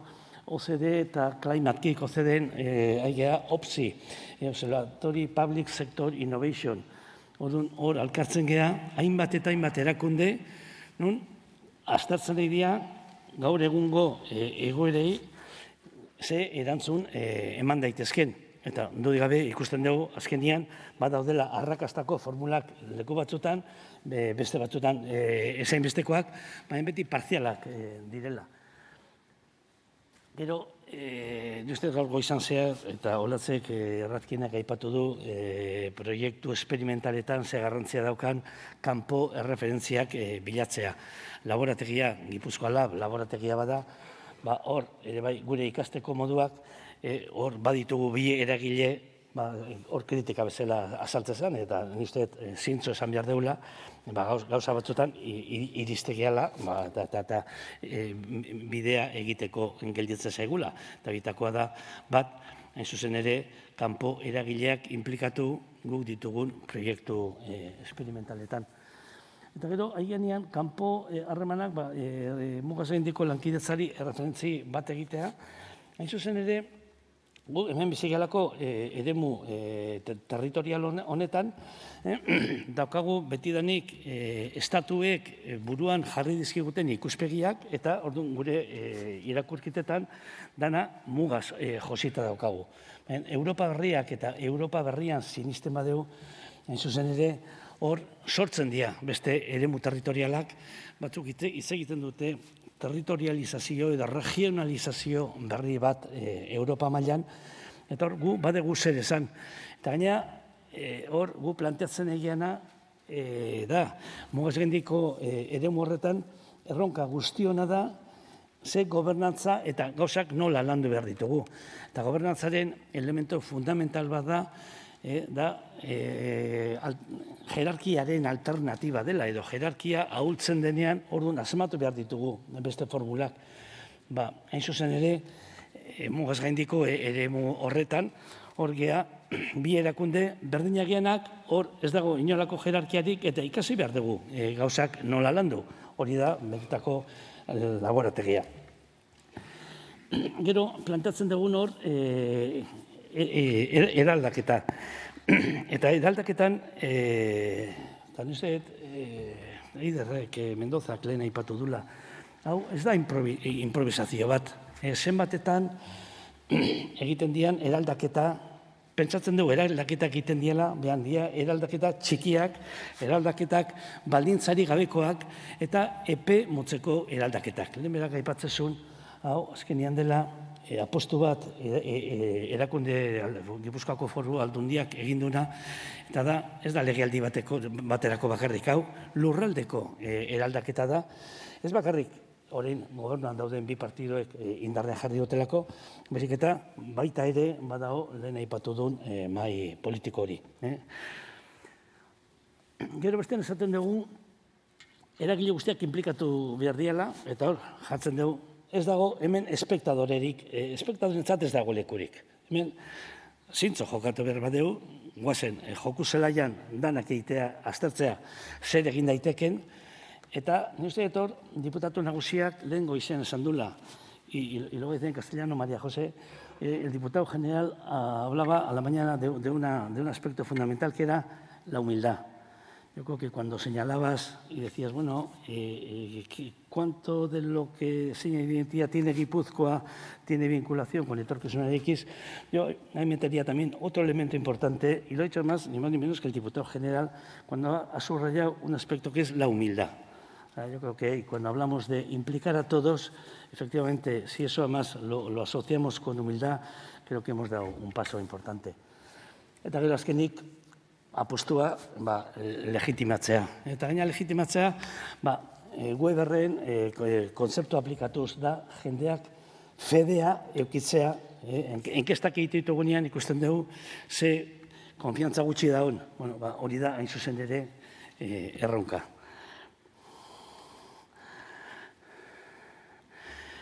Sozializazioaz, aipatzea, hain zuzen ere, e, Sebastianek lemarkatzen zunean, eta zatezun, bueno, e, dagoen desafikzioa eta dagoen urruntasuna, ba, du digabe, ba, hortan, ba, e, pauso bat e, eman behar da, hemen esan duguna, e, politikak e, beste modu berrian e, egitea, eta e, eragile sozialekin ba, e, lanean egin. Eta orduan aur, gu irakur, irakurketa egiten dugunean esaten dugu, sozializazioa, eta gehien bat pentsatzen dugu kanpora, baina hemen e, zuen maimenarekin e, azpimarratuko dut etxe barruko implikazioa. Aldundia da e, mila eta segiren langileko erakunde bat, ez dakit oker nagoen, eider, baina bueno, hortik. Eta e, kaso hortan e, nola implikatu. Askotan, abetako e, prozesuak martxan jartzen direnean, lehenengo e, sortzen da ba, deskonfiantza puntu bat. Bueno, e, asidia beste proiektu berri bat, ikusiko dugu hori noraino gauzatzen den, baina etorkizuna eraikiz e, insistenzialismoa lehen aipatu da hemen, ezta? Bueno, jarraipena duenez, pasada bigarren urraz batea, eta nizet kritiko izan behar duela gure buruarekin. Eta e, momentu batzutan egiten diguten kritika da azken diputazioak iaia bi harima ditula edo erakunde duala dela. Osa, alde batekan diskursoa e, sendotzen nahi dela eta bestetikan e, ba, e, falta dena eh, diputada lehen ere bai hori hori aipatu du, ibilbide luzea eh, falta zaigu, baina hain zuzen ere etxe barrukoa eh, da erronka eh, nagusinetako bat, ondo guztia propio sentitzea eta eh, egiteko modutan ez da bakarrik eh, esan dezagun goiko kupula erabakitzen duna, da, erakunde guztia eh, aldatzen joan beharko da, eh, nahi badeu etorkizun erekiz eh, sendo bati buruz hitz egin. Eta gero, orduan, hor bi galdera daude, ze lidergo mota eh, aplikatu behar da, hori ikasi behar da, eta gero, baita ere, nola deliberazioai, etxe barruan, inkluso, eh, ateak ireki. Tartako, esaten geuna, e, akademia eta kanpo referentziak e, fundamentala dira. Eta azkenik, emazateko, eta kizunarekiz, e, ba, e, eragile ezberdinen e, puzle bat bezala. Baina horren gainetik, ni jarriko nuke hiru elemento, eh, hor daude eh, ditugun eh, eragile guztiak, eh, modu oso simple, simplean, baina izango genuke, lehen aipatu dugu eta izaldi honen eh, hasieran zan gizarte kapitala eta Maria Josek eh, eh, aipatu du. Hor guztiak mai gainean jartzea pudle logika bat badu izango da ba, badeulako gaitasuna hori dana guztia ongi orkestatzeko. Bigarren elemento bat izango zen konfiantza edo konfiantzan baina gehiago konfiabilidadea. Osa, konfiabilidadea da plus bat, ez da, soilik konfiantza, da, gu besteengan dugun konfiabilidadea, beste ere konpromiso hartu dutelako gauzak modu batean egiteko. Bai, gu erakunde, baina gu aiganean unibertsitatekin, gu aiganean eragile sozialekin, eh, herritarrekin tabar, eh, dudik gabe hori beste elemento fundamentala da. Eta gero, azkenik, hau danak alkarrekin zertako, bueno, ba, e, e, etorkizunai begira, ba, lurraldeak ditun e, erronkei ba, e, modu txukunean erantzun emateko. Lehen aipatu deu e, lehiakortasuna, lehen aipatu deu e, berdintasuna, lehen aipatu deu e, baita ere sostenibilitatea. Bueno, ba, elementu guzti horiekin Gipuzkoa bihurtzeko ba, danak amets e, egingo genuken e, lurraldeatean. Eskarrik asko.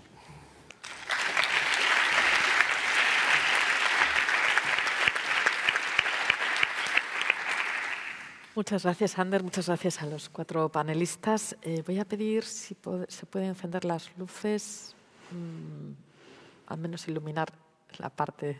Gracias. Muy bien, tenemos ahora unos minutos para eh, preguntas, comentarios. Em, el micrófono está ahí.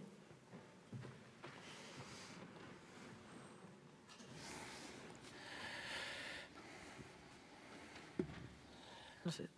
Ah, sí, allí mismo. Bai, egunan, eh, atera dire, botera harremanak, atera dira eh, erritmo eta ikuspegi diferenteak, eh, interes diferenteak ere bai, eta segurazki zilegiak gainera.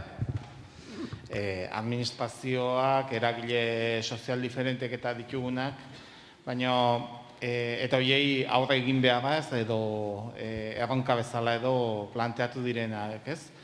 Baina nola egin aurre eta e, nola e, gainditu egon daitezken e, mesfidantzak, errezeloak, e, lan egiteko itura diferenteak, ikasteko itura diferenteak ere aipatu da.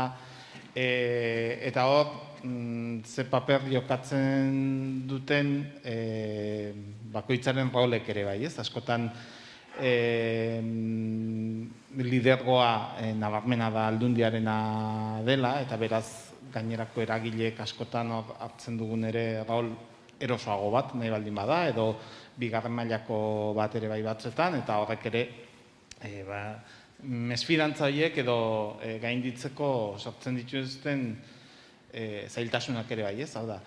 Eta Mm, gardentasunak, e, joku arauak, e, konpartitzeak, e, askotan igual ez dugu dedikatzen hori, ez? E, joku arau eta hitz egitera, e, mm, bueno, bakoitzaren rola ongi definitzera, askotan prozesuetan morgiltzen gara, lanean hasten gara, proiektuak egikaritzen, baina beste alderdi horiek, ez? Eta, bueno, apiskat igual horren inguruan, ze non sakondu beharko litzateken eta, eta ze lan egin daiteken, bide horretan ere bai kultura eh, aldaketa eh, horretan bai eh, administrazioa, baina baita eragile sozial, ekonomiko edo herritarren ere bai ez. Gracias. Miren?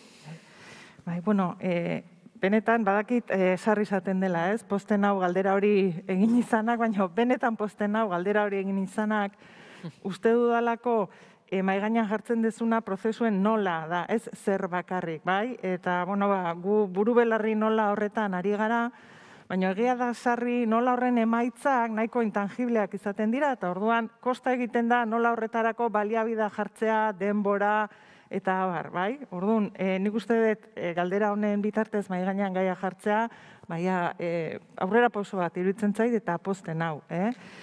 Eta gero, bueno, ez naiz e, asko luzatuko, baina e, aipatu duzu rolen kontua, eta gean ere erantzuna pixkat horti joango da. E? Gu lantzen ari gera, e, zintankeko taldetako batean adibidez, e, Norvegiako filosofo batekin, eh? Ola feike lanekin, berak jartzen duen e, ekintza ikerketaren barruan, proposatzen dizkigun bi kontzeptu, bai?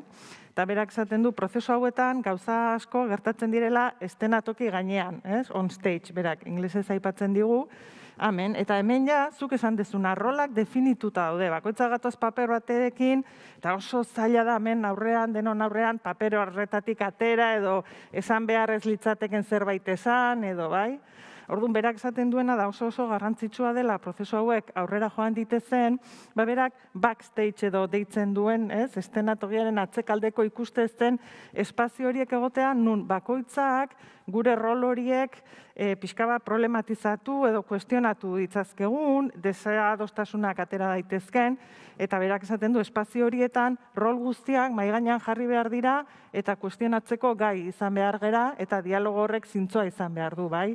E, backstage bakarrik ezingo litzateke ez da ere prozesu hori aurrera eraman, bai? Ordu nik uste dut, galdetzen zenunean zer egin dezakegu nondi joan, ba nik uste dut, oreka horiek bilatu behar ditugula, baino estenatoki atzean gertatzen den horri ere bere balioa eman, bere denbora, bere baliabideak, eta prestakuntza eta gaitasunak ere bai garatu, ez estenatoki gainean egingo degunerako bakarrik, baizik baita estenatokiaren atzekaldeko prozesu horietarako ere. Eh, nik agian osatzeko emirenek esan duena, E, nik uste badela, e, batzuk esan, dituzun mesfidantza e, lan egiteko modu berriak, ez? horiek guztiak inkorporatzeko edo horiek guztiei aurre egiteko abia puntuko baldintza ezinbesteko bat. Eta da, kasu honetan prozesuaren lidergoa damakien aldundiaren e, borondatea, gauzak ezberdin egiteko. Kasu batzutan determinazioa, baita ere e, autoridadea, ero derabakimen hori partekatzeko, edo beste batzuei beste papel protagonista bat emateko, prozesuan parte hartzeko, hortaz, bueno, abia puntuko baldintza egokia da, ez, eta ezinbestekoa.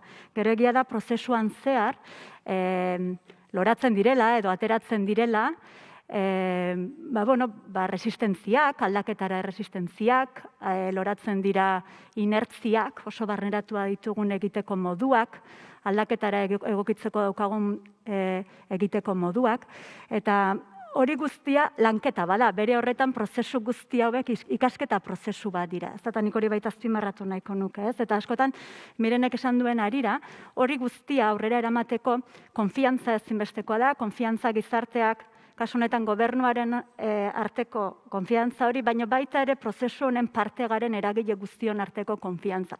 Eta hori, e, ezin da tangibilizatu, hori landu egin behar da, eta horri denbora eskaini behar zaio. Eta ba, askotan bizigaren erritmoa azkar horretan, kosta egiten zaigu, hortara gelditzea, edo horrelako e, aspektu e, intangible hoiei, behar duten uguki ezin hoiei, duten balioa itortzea. Ez? Hortaz, bueno, nik esan, hau ikasketa prozesu bada, eta ikasketa erronkak ditu bere horretan, e, emaitzek eta erronkek, baino baita ere egiteko moduek, ez? eta nola horiek, hortaz, hortan guztian ari gara. An eh, Ander pedido la palabra, pero con la, gracias a la confianza que tengo con, con Ander, eh, voy a plantearte la pregunta. Eh, se, propone de nuevo la cuestión del liderazgo, liderazgo institucional y liderazgo compartido. Y aquí en la sala hay actores que participáis en este liderazgo compartido de Torquisuna X. La transparencia en, las reglas de juego. Eh, ¿Qué nos puedes compartir del aprendizaje que habéis tenido en la Diputación sobre cómo la transparencia en las reglas de juego permite avanzar, presenta obstáculos. ¿Cuál es tu...? La, transparencia y previamente compartir también las reglas de juego, ¿eh? porque al final estamos hablando aquí de un liderazgo compartido que desde la institución con generosidad se pone en marcha, pero que obviamente interpela a los agentes sociales porque claro, estamos en una cultura más clásica, donde la relación era prácticamente Xavier Brandiarán, que, que, que, que al final yo creo que es una de las personas que hay que rendir homenaje eh, por, por, por, por, idear y todo, toda la iniciativa suya en torno a Torquís una X. Entonces él tiene muchas veces la expresión lógica cajero automático. Entonces, claro, esto obliga a transparencia y test, pero efectivamente a todo el mundo a retratarse, tanto a la administración como a, los propios eh, actores. Entonces ahí estamos en escenarios nuevos, eh, reglas de juego que eh, tendremos que ir creando, que tenemos que ir descubriendo e, e inventando y, jugando con, con, mucha generosidad. Yo creo que al final esto es un ejercicio de muchísima generosidad y que, en este territorio es más fácil que en otros, pero, pero que hay que cultivarlo. Gracias.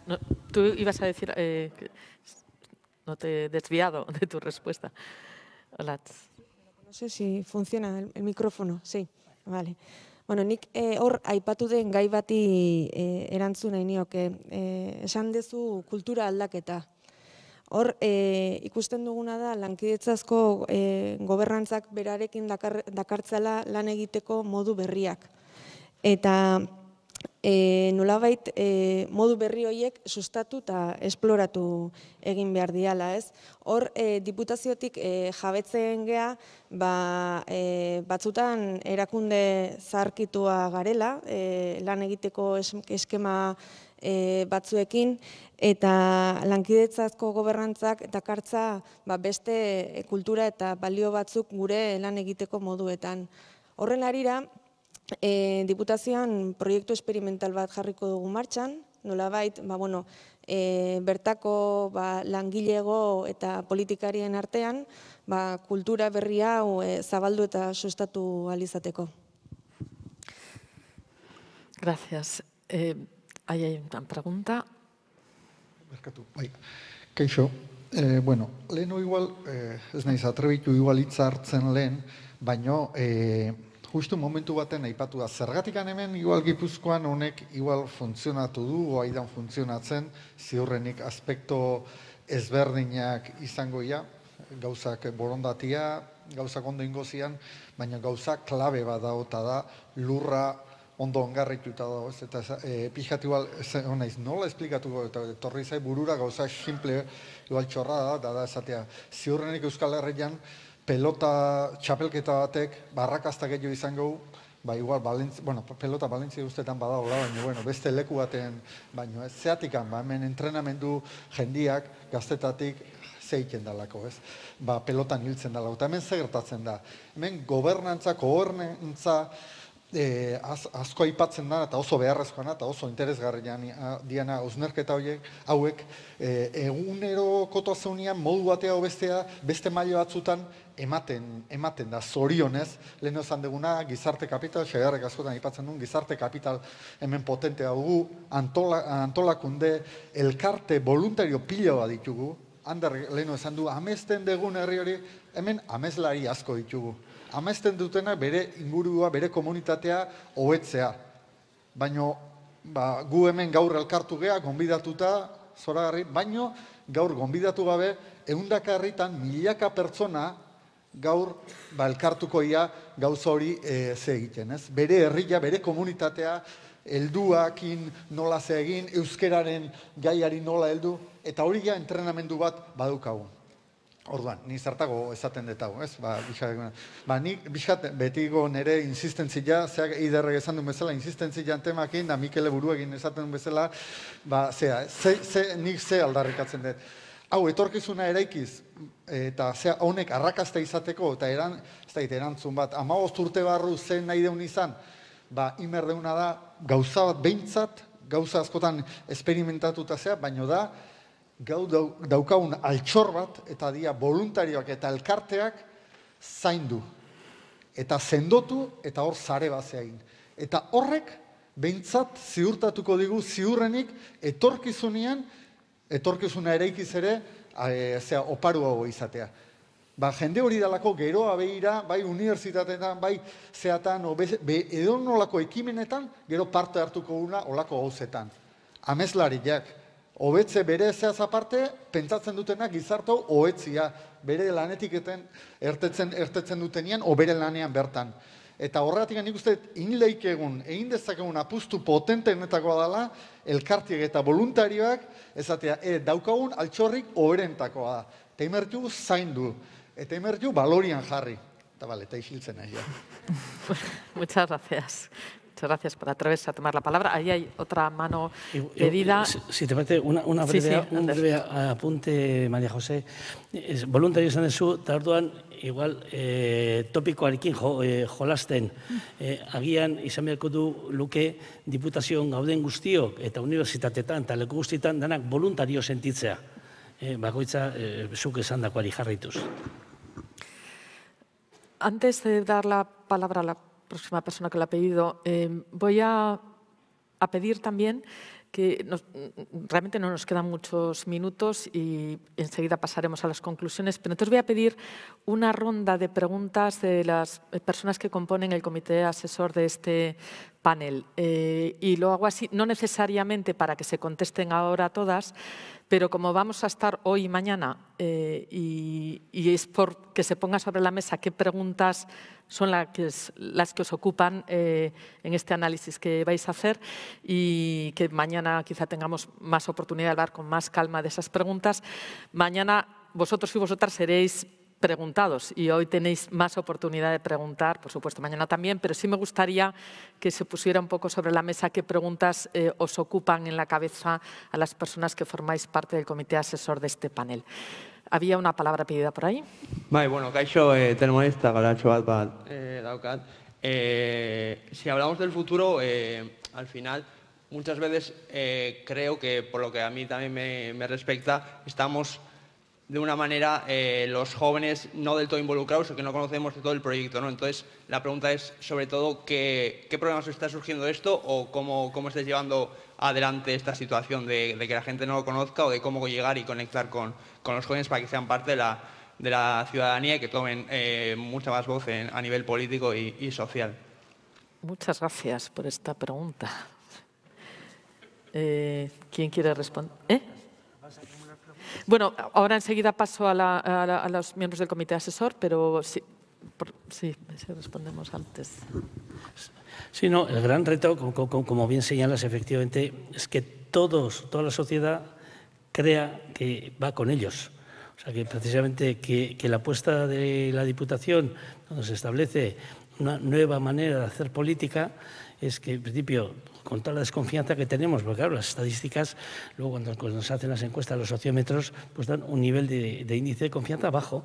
Entonces, claro, a partir de ahí es ir eh, dando respuesta. Entonces, la cuestión efectivamente es cómo hace la institución para ir llegando. Nosotros ahora muchas veces eh, estamos en otros foros y dice, bueno, ahora a partir de, hasta ahora teníamos voto, ahora tenemos también la palabra. Bueno, pues es ir generalizando esto. O, gente que, que, tiene relación con nosotros dice, bueno, antes contentos cuando ibas y te recibían. Luego eh, ve, vemos que hay una, una, fase de diálogo. Y entonces ahora incluso se, se habla de, empezar a co-crear. O sea que eso es, es, es, va a ser muy complicado, pero bueno, pero el sentido eh, va por ahí. Eh, ¿Te puedo preguntar el nombre, la, la, persona que ha hecho la pregunta? Telmo. Telmo. Telmo. Telmo eh, ¿Tienes previsto estar mañana en este panel? Eh, te dejo ahí por si quieres eh, aceptar la sugerencia. Eh, creo que sería enormemente interesante para, para, toda la audiencia, desde luego para mí, y estoy segura que para las personas que están implicadas en Etorquis X, oír cuál es tu percepción, valoración, reacción ante propuestas de este tipo? ¿Qué te atrae, qué no te atrae, qué crees que en tu entorno eh, realmente engancha de esta propuesta que se hace desde Torquis una era X y que no? Y te lo dejo ahí por si te apetece mañana. Gracias. Y, y si cree o no cree. Y si cree o no cree en esta, en esta propuesta. Sí, sí. Muchísimas gracias. A continuación invito a los miembros del comité asesor. María, si, sois tan amables de presentaros, bueno, tú ya lo has hecho, María. Falta el micrófono para que te oigan también la traducción.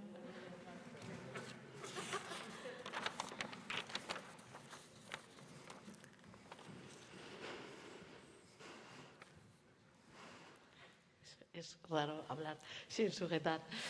Eh, a mí me gustaría, de una manera general, y entiendo no eh, en detalle, eh, centrarme en tres aspectos.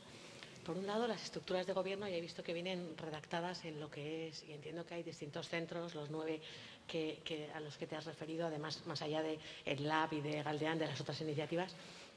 Y me gustaría hacer hincapié en si podíais dar una visión general de no, no solamente las las estructuras de gobierno independientes de cada iniciativa, sino de la parte general más transversal para ver eh, qué, estructura de gobierno hay común a las iniciativas de tal forma que se pueda eh, aprovechar temas de sinergias, etcétera, entre unas. Eso por un lado. En segundo lugar, eh, parecido, pero con respecto a fuentes de financiación. ¿Cuál es la diferencia de estos centros, cómo se financian en cuanto a, bueno, pues son todos financiados eh, por, el, por, el, gobierno o, o, fondos europeos, o si hay demasiadas diferencias entre cada uno de ellos. Y en tercer lugar, hablabais mucho de participación. Eh, ¿Cómo aseguráis, de alguna manera, que haya cierta representatividad de los agentes que os interesa con cada iniciativa? ¿Cómo se puede ver eso? Muy bien. Muchas gracias, María. Eh, vamos entonces a, hacer la ronda de preguntas. Y casi voy a proponer lo siguiente, teniendo en cuenta la hora, que a menos cuarto tenemos que acabar, voy a proponer lo siguiente, a ver qué les parece también a los miembros del panel y a Eider y Sebas, que han intervenido antes. Eh, tomamos ronda de preguntas y, y, y, a menos, y empezáis a contestar, y a menos cuarto paramos, porque hay que parar, y dejamos las conclusiones para mañana. ¿Os parece bien a los personas? ¿Sí? Muy bien. De acuerdo, gracias. Hola, hola buenos días. Soy Diego Moñux, uno de los miembros del comité sí. asesor, que no había intervenido todavía. Primero, muchísimas gracias por la invitación y la oportunidad de participar.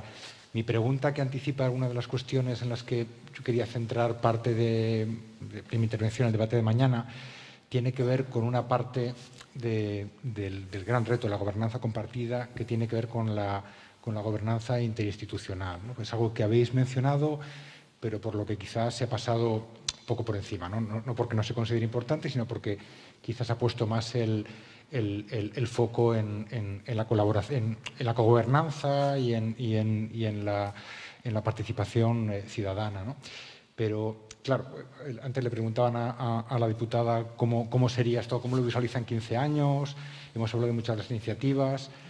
Desde mi punto de vista, seguramente el, el cómo estemos en 15 años dependerá en gran medida de cómo, cómo se haya implementado y cómo hayan escalado las iniciativas. ¿no? Eh, comentaba antes, eh, miren, el, y, y, y, sobre esto solo soy, si hay espacio para las respuestas, es de lo que me gustaría saber más, si no, vamos sobre ello mañana, sobre la red de, de, de municipios. ¿no? Uh -huh. Claro, al final sobre el territorio operan varias administraciones con distintas competencias y esto no es un tema, lógicamente, menor. ¿no? Eh, a mí me gustaría saber en esa, en esa digamos, cogobernanza con las administraciones sobre las que se ha mencionado que es complejo, que no siempre, eh, cito cosas que se han dicho, no están alineados los intereses, si se puede compartir algo más sobre cosas que han ido mejor o han ido, o han ido peor, ¿no? porque al final los centros de referencia eh, no dejan de ser pues, faros ¿no? que iluminan, pero el éxito de, hacer frente a los retos pasa por un escalado en el que hay que arrastrar a otras administraciones de todos los niveles a que en ese despliegue de políticas públicas, pues, pues, pues digamos, sean coherentes ¿no? con esta visión que lidera la Diputación. ¿no? Muchas gracias. A continuación, tiene la palabra allí.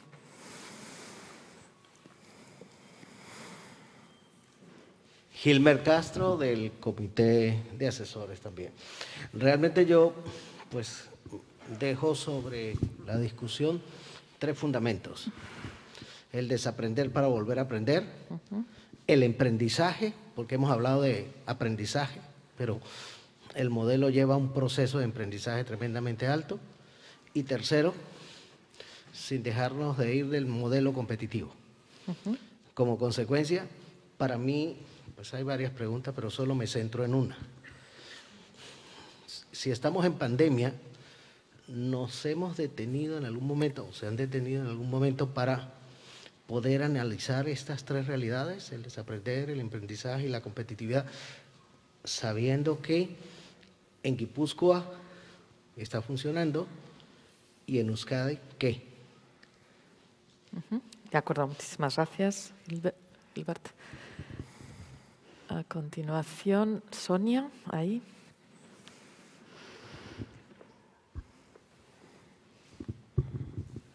Bueno, primero, se presentó, eran muchísimas cosas y es difícil quedarse con todo en la cabeza.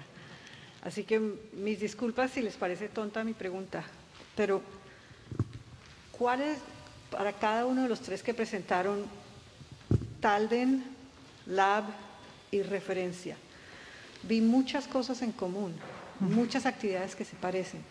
¿Cuál sería para ustedes el punto que hace una diferenciación para que existan estas tres como diferentes cada una de la otra? ¿Cuál es la contribución y, la manera de hacer que la diferencia de las otras dos? De acuerdo, muchas gracias, Sonia. Paso la palabra ahora. ¿Quién falta del comité asesor? Mm. Daniel. Mm. De acuerdo, no falta nadie, entonces. De acuerdo, gracias. Muy bien. Bueno, entonces, tenemos varias preguntas sobre la mesa eh, a la que hemos añadido también para mañana, la percepción de los jóvenes. Y acabamos de incorporar al comité asesor de este panel a Telmo. Eh, y todas estas cuestiones quedan eh, sobre la mesa para mañana, donde se darán respuestas. Pero como nos quedan unos minutos, voy a, pedir pues al, panel que está ahora sobre el, el estrado que contesten, que elijan alguna de las cosas que se han planteado y, por empezar a contestar. Mañana continuaremos, pero quizá por empezar con una más de, dibujo del cuadro, eh, esta última, ¿cuál, es ¿cuál creéis que es la singularidad de los tres elementos que componen el sistema eh, y que, hace diferencial eh, a, cada uno de sus mm. elementos o pilares?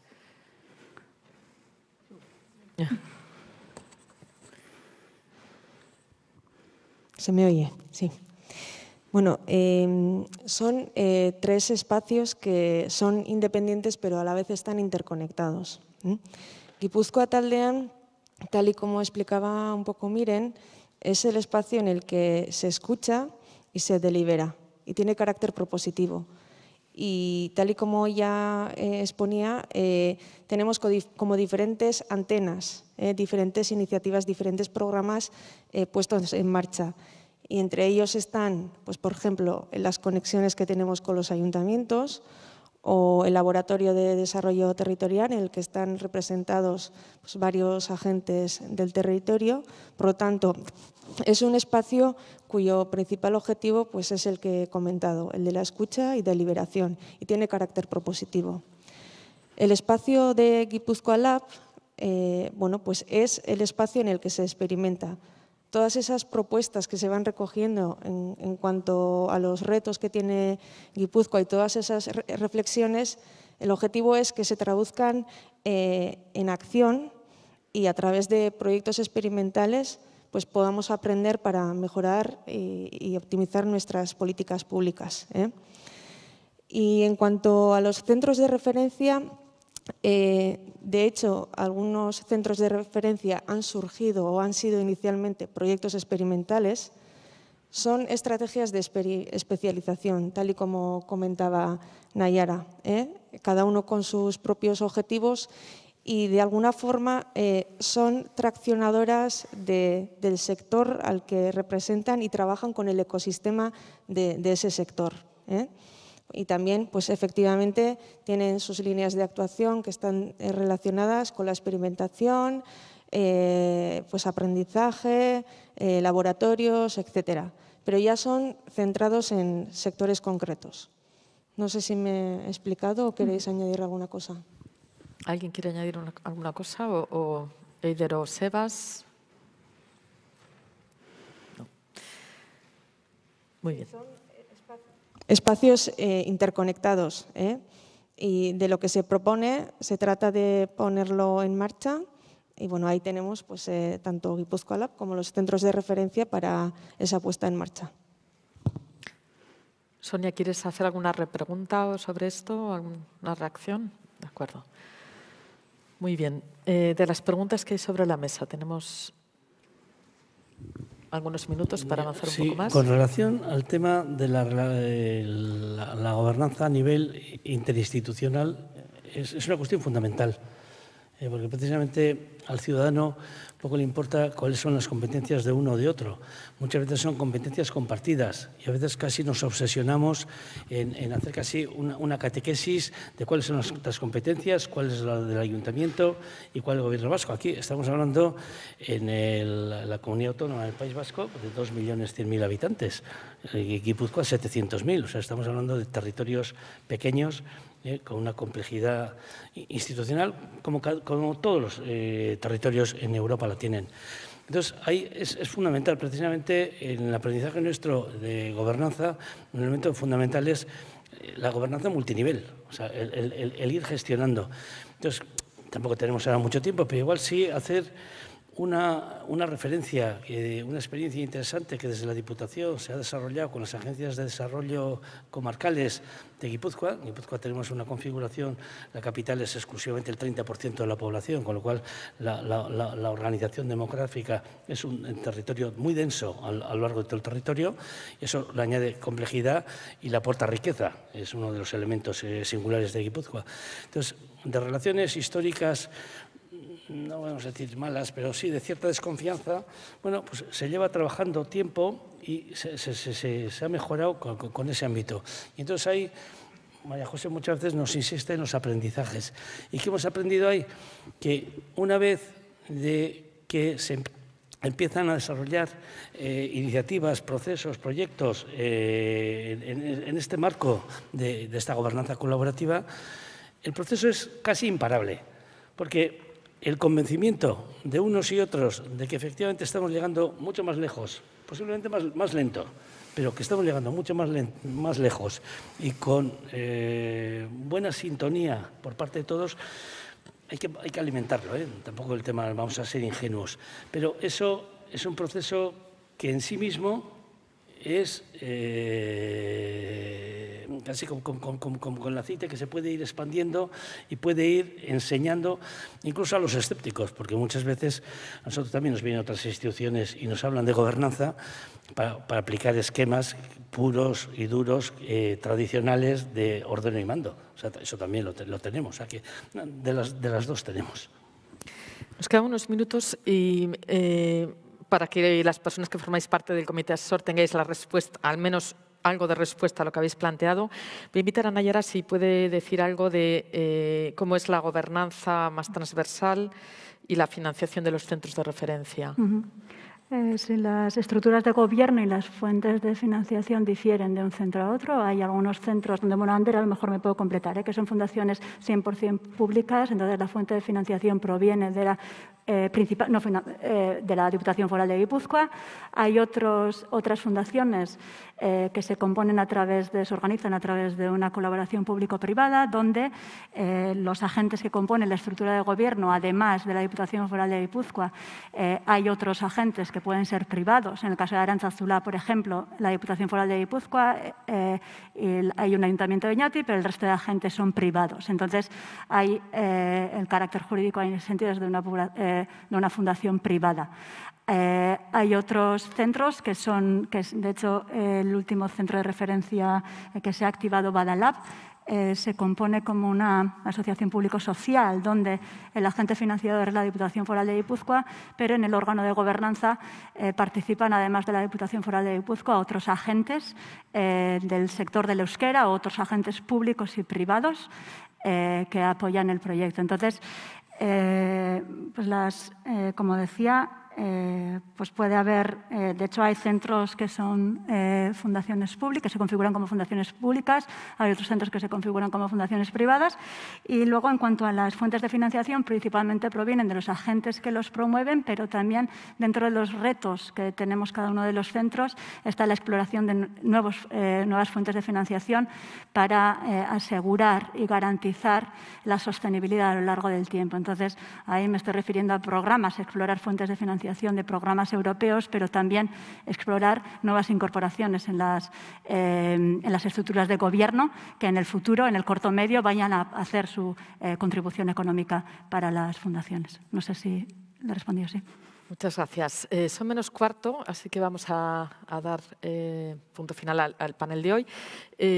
Mañana entonces tendremos primero la intervención de las distintas personas que forman parte del comité asesor y luego tendremos un diálogo, una interacción, preguntas. Eh, yo mm, me gustaría para mañana hacer una pregunta a las personas que hoy habéis intervenido y que estáis en X, que pensarais en si tuvierais que dar eh, una recomendación a alguien que quisiera implementar algo de este estilo en, una, en, otro, lugar, que sí seguro le recomendaríais hacer y que recomendarías no hacer en absoluto porque os ha salido mal, porque pensáis que no os ha funcionado. Y, si, esto creo que puede enriquecer el diálogo de mañana y tendremos también eh, la intervención de Telmo, eh, que nos dará su visión. Eh, sí. Y, perdón, porque ya estamos fuera de plazo, pero una breve referencia, porque la, la, la pregunta del amigo Castro, digo que, que, que, tiene mucha enjundia, mañana eh, podríamos profundizar, pero en el desaprender yo te diría una cosa, y es que yo que estoy ya en la prórroga de mi vida profesional, estoy desaprendiendo, pues aquí en ECO, pues ya pues fíjate ya, pues tiene todo el futuro por delante. Sí. Telmo, telmo. Bueno, nos empezamos mañana y continuamos.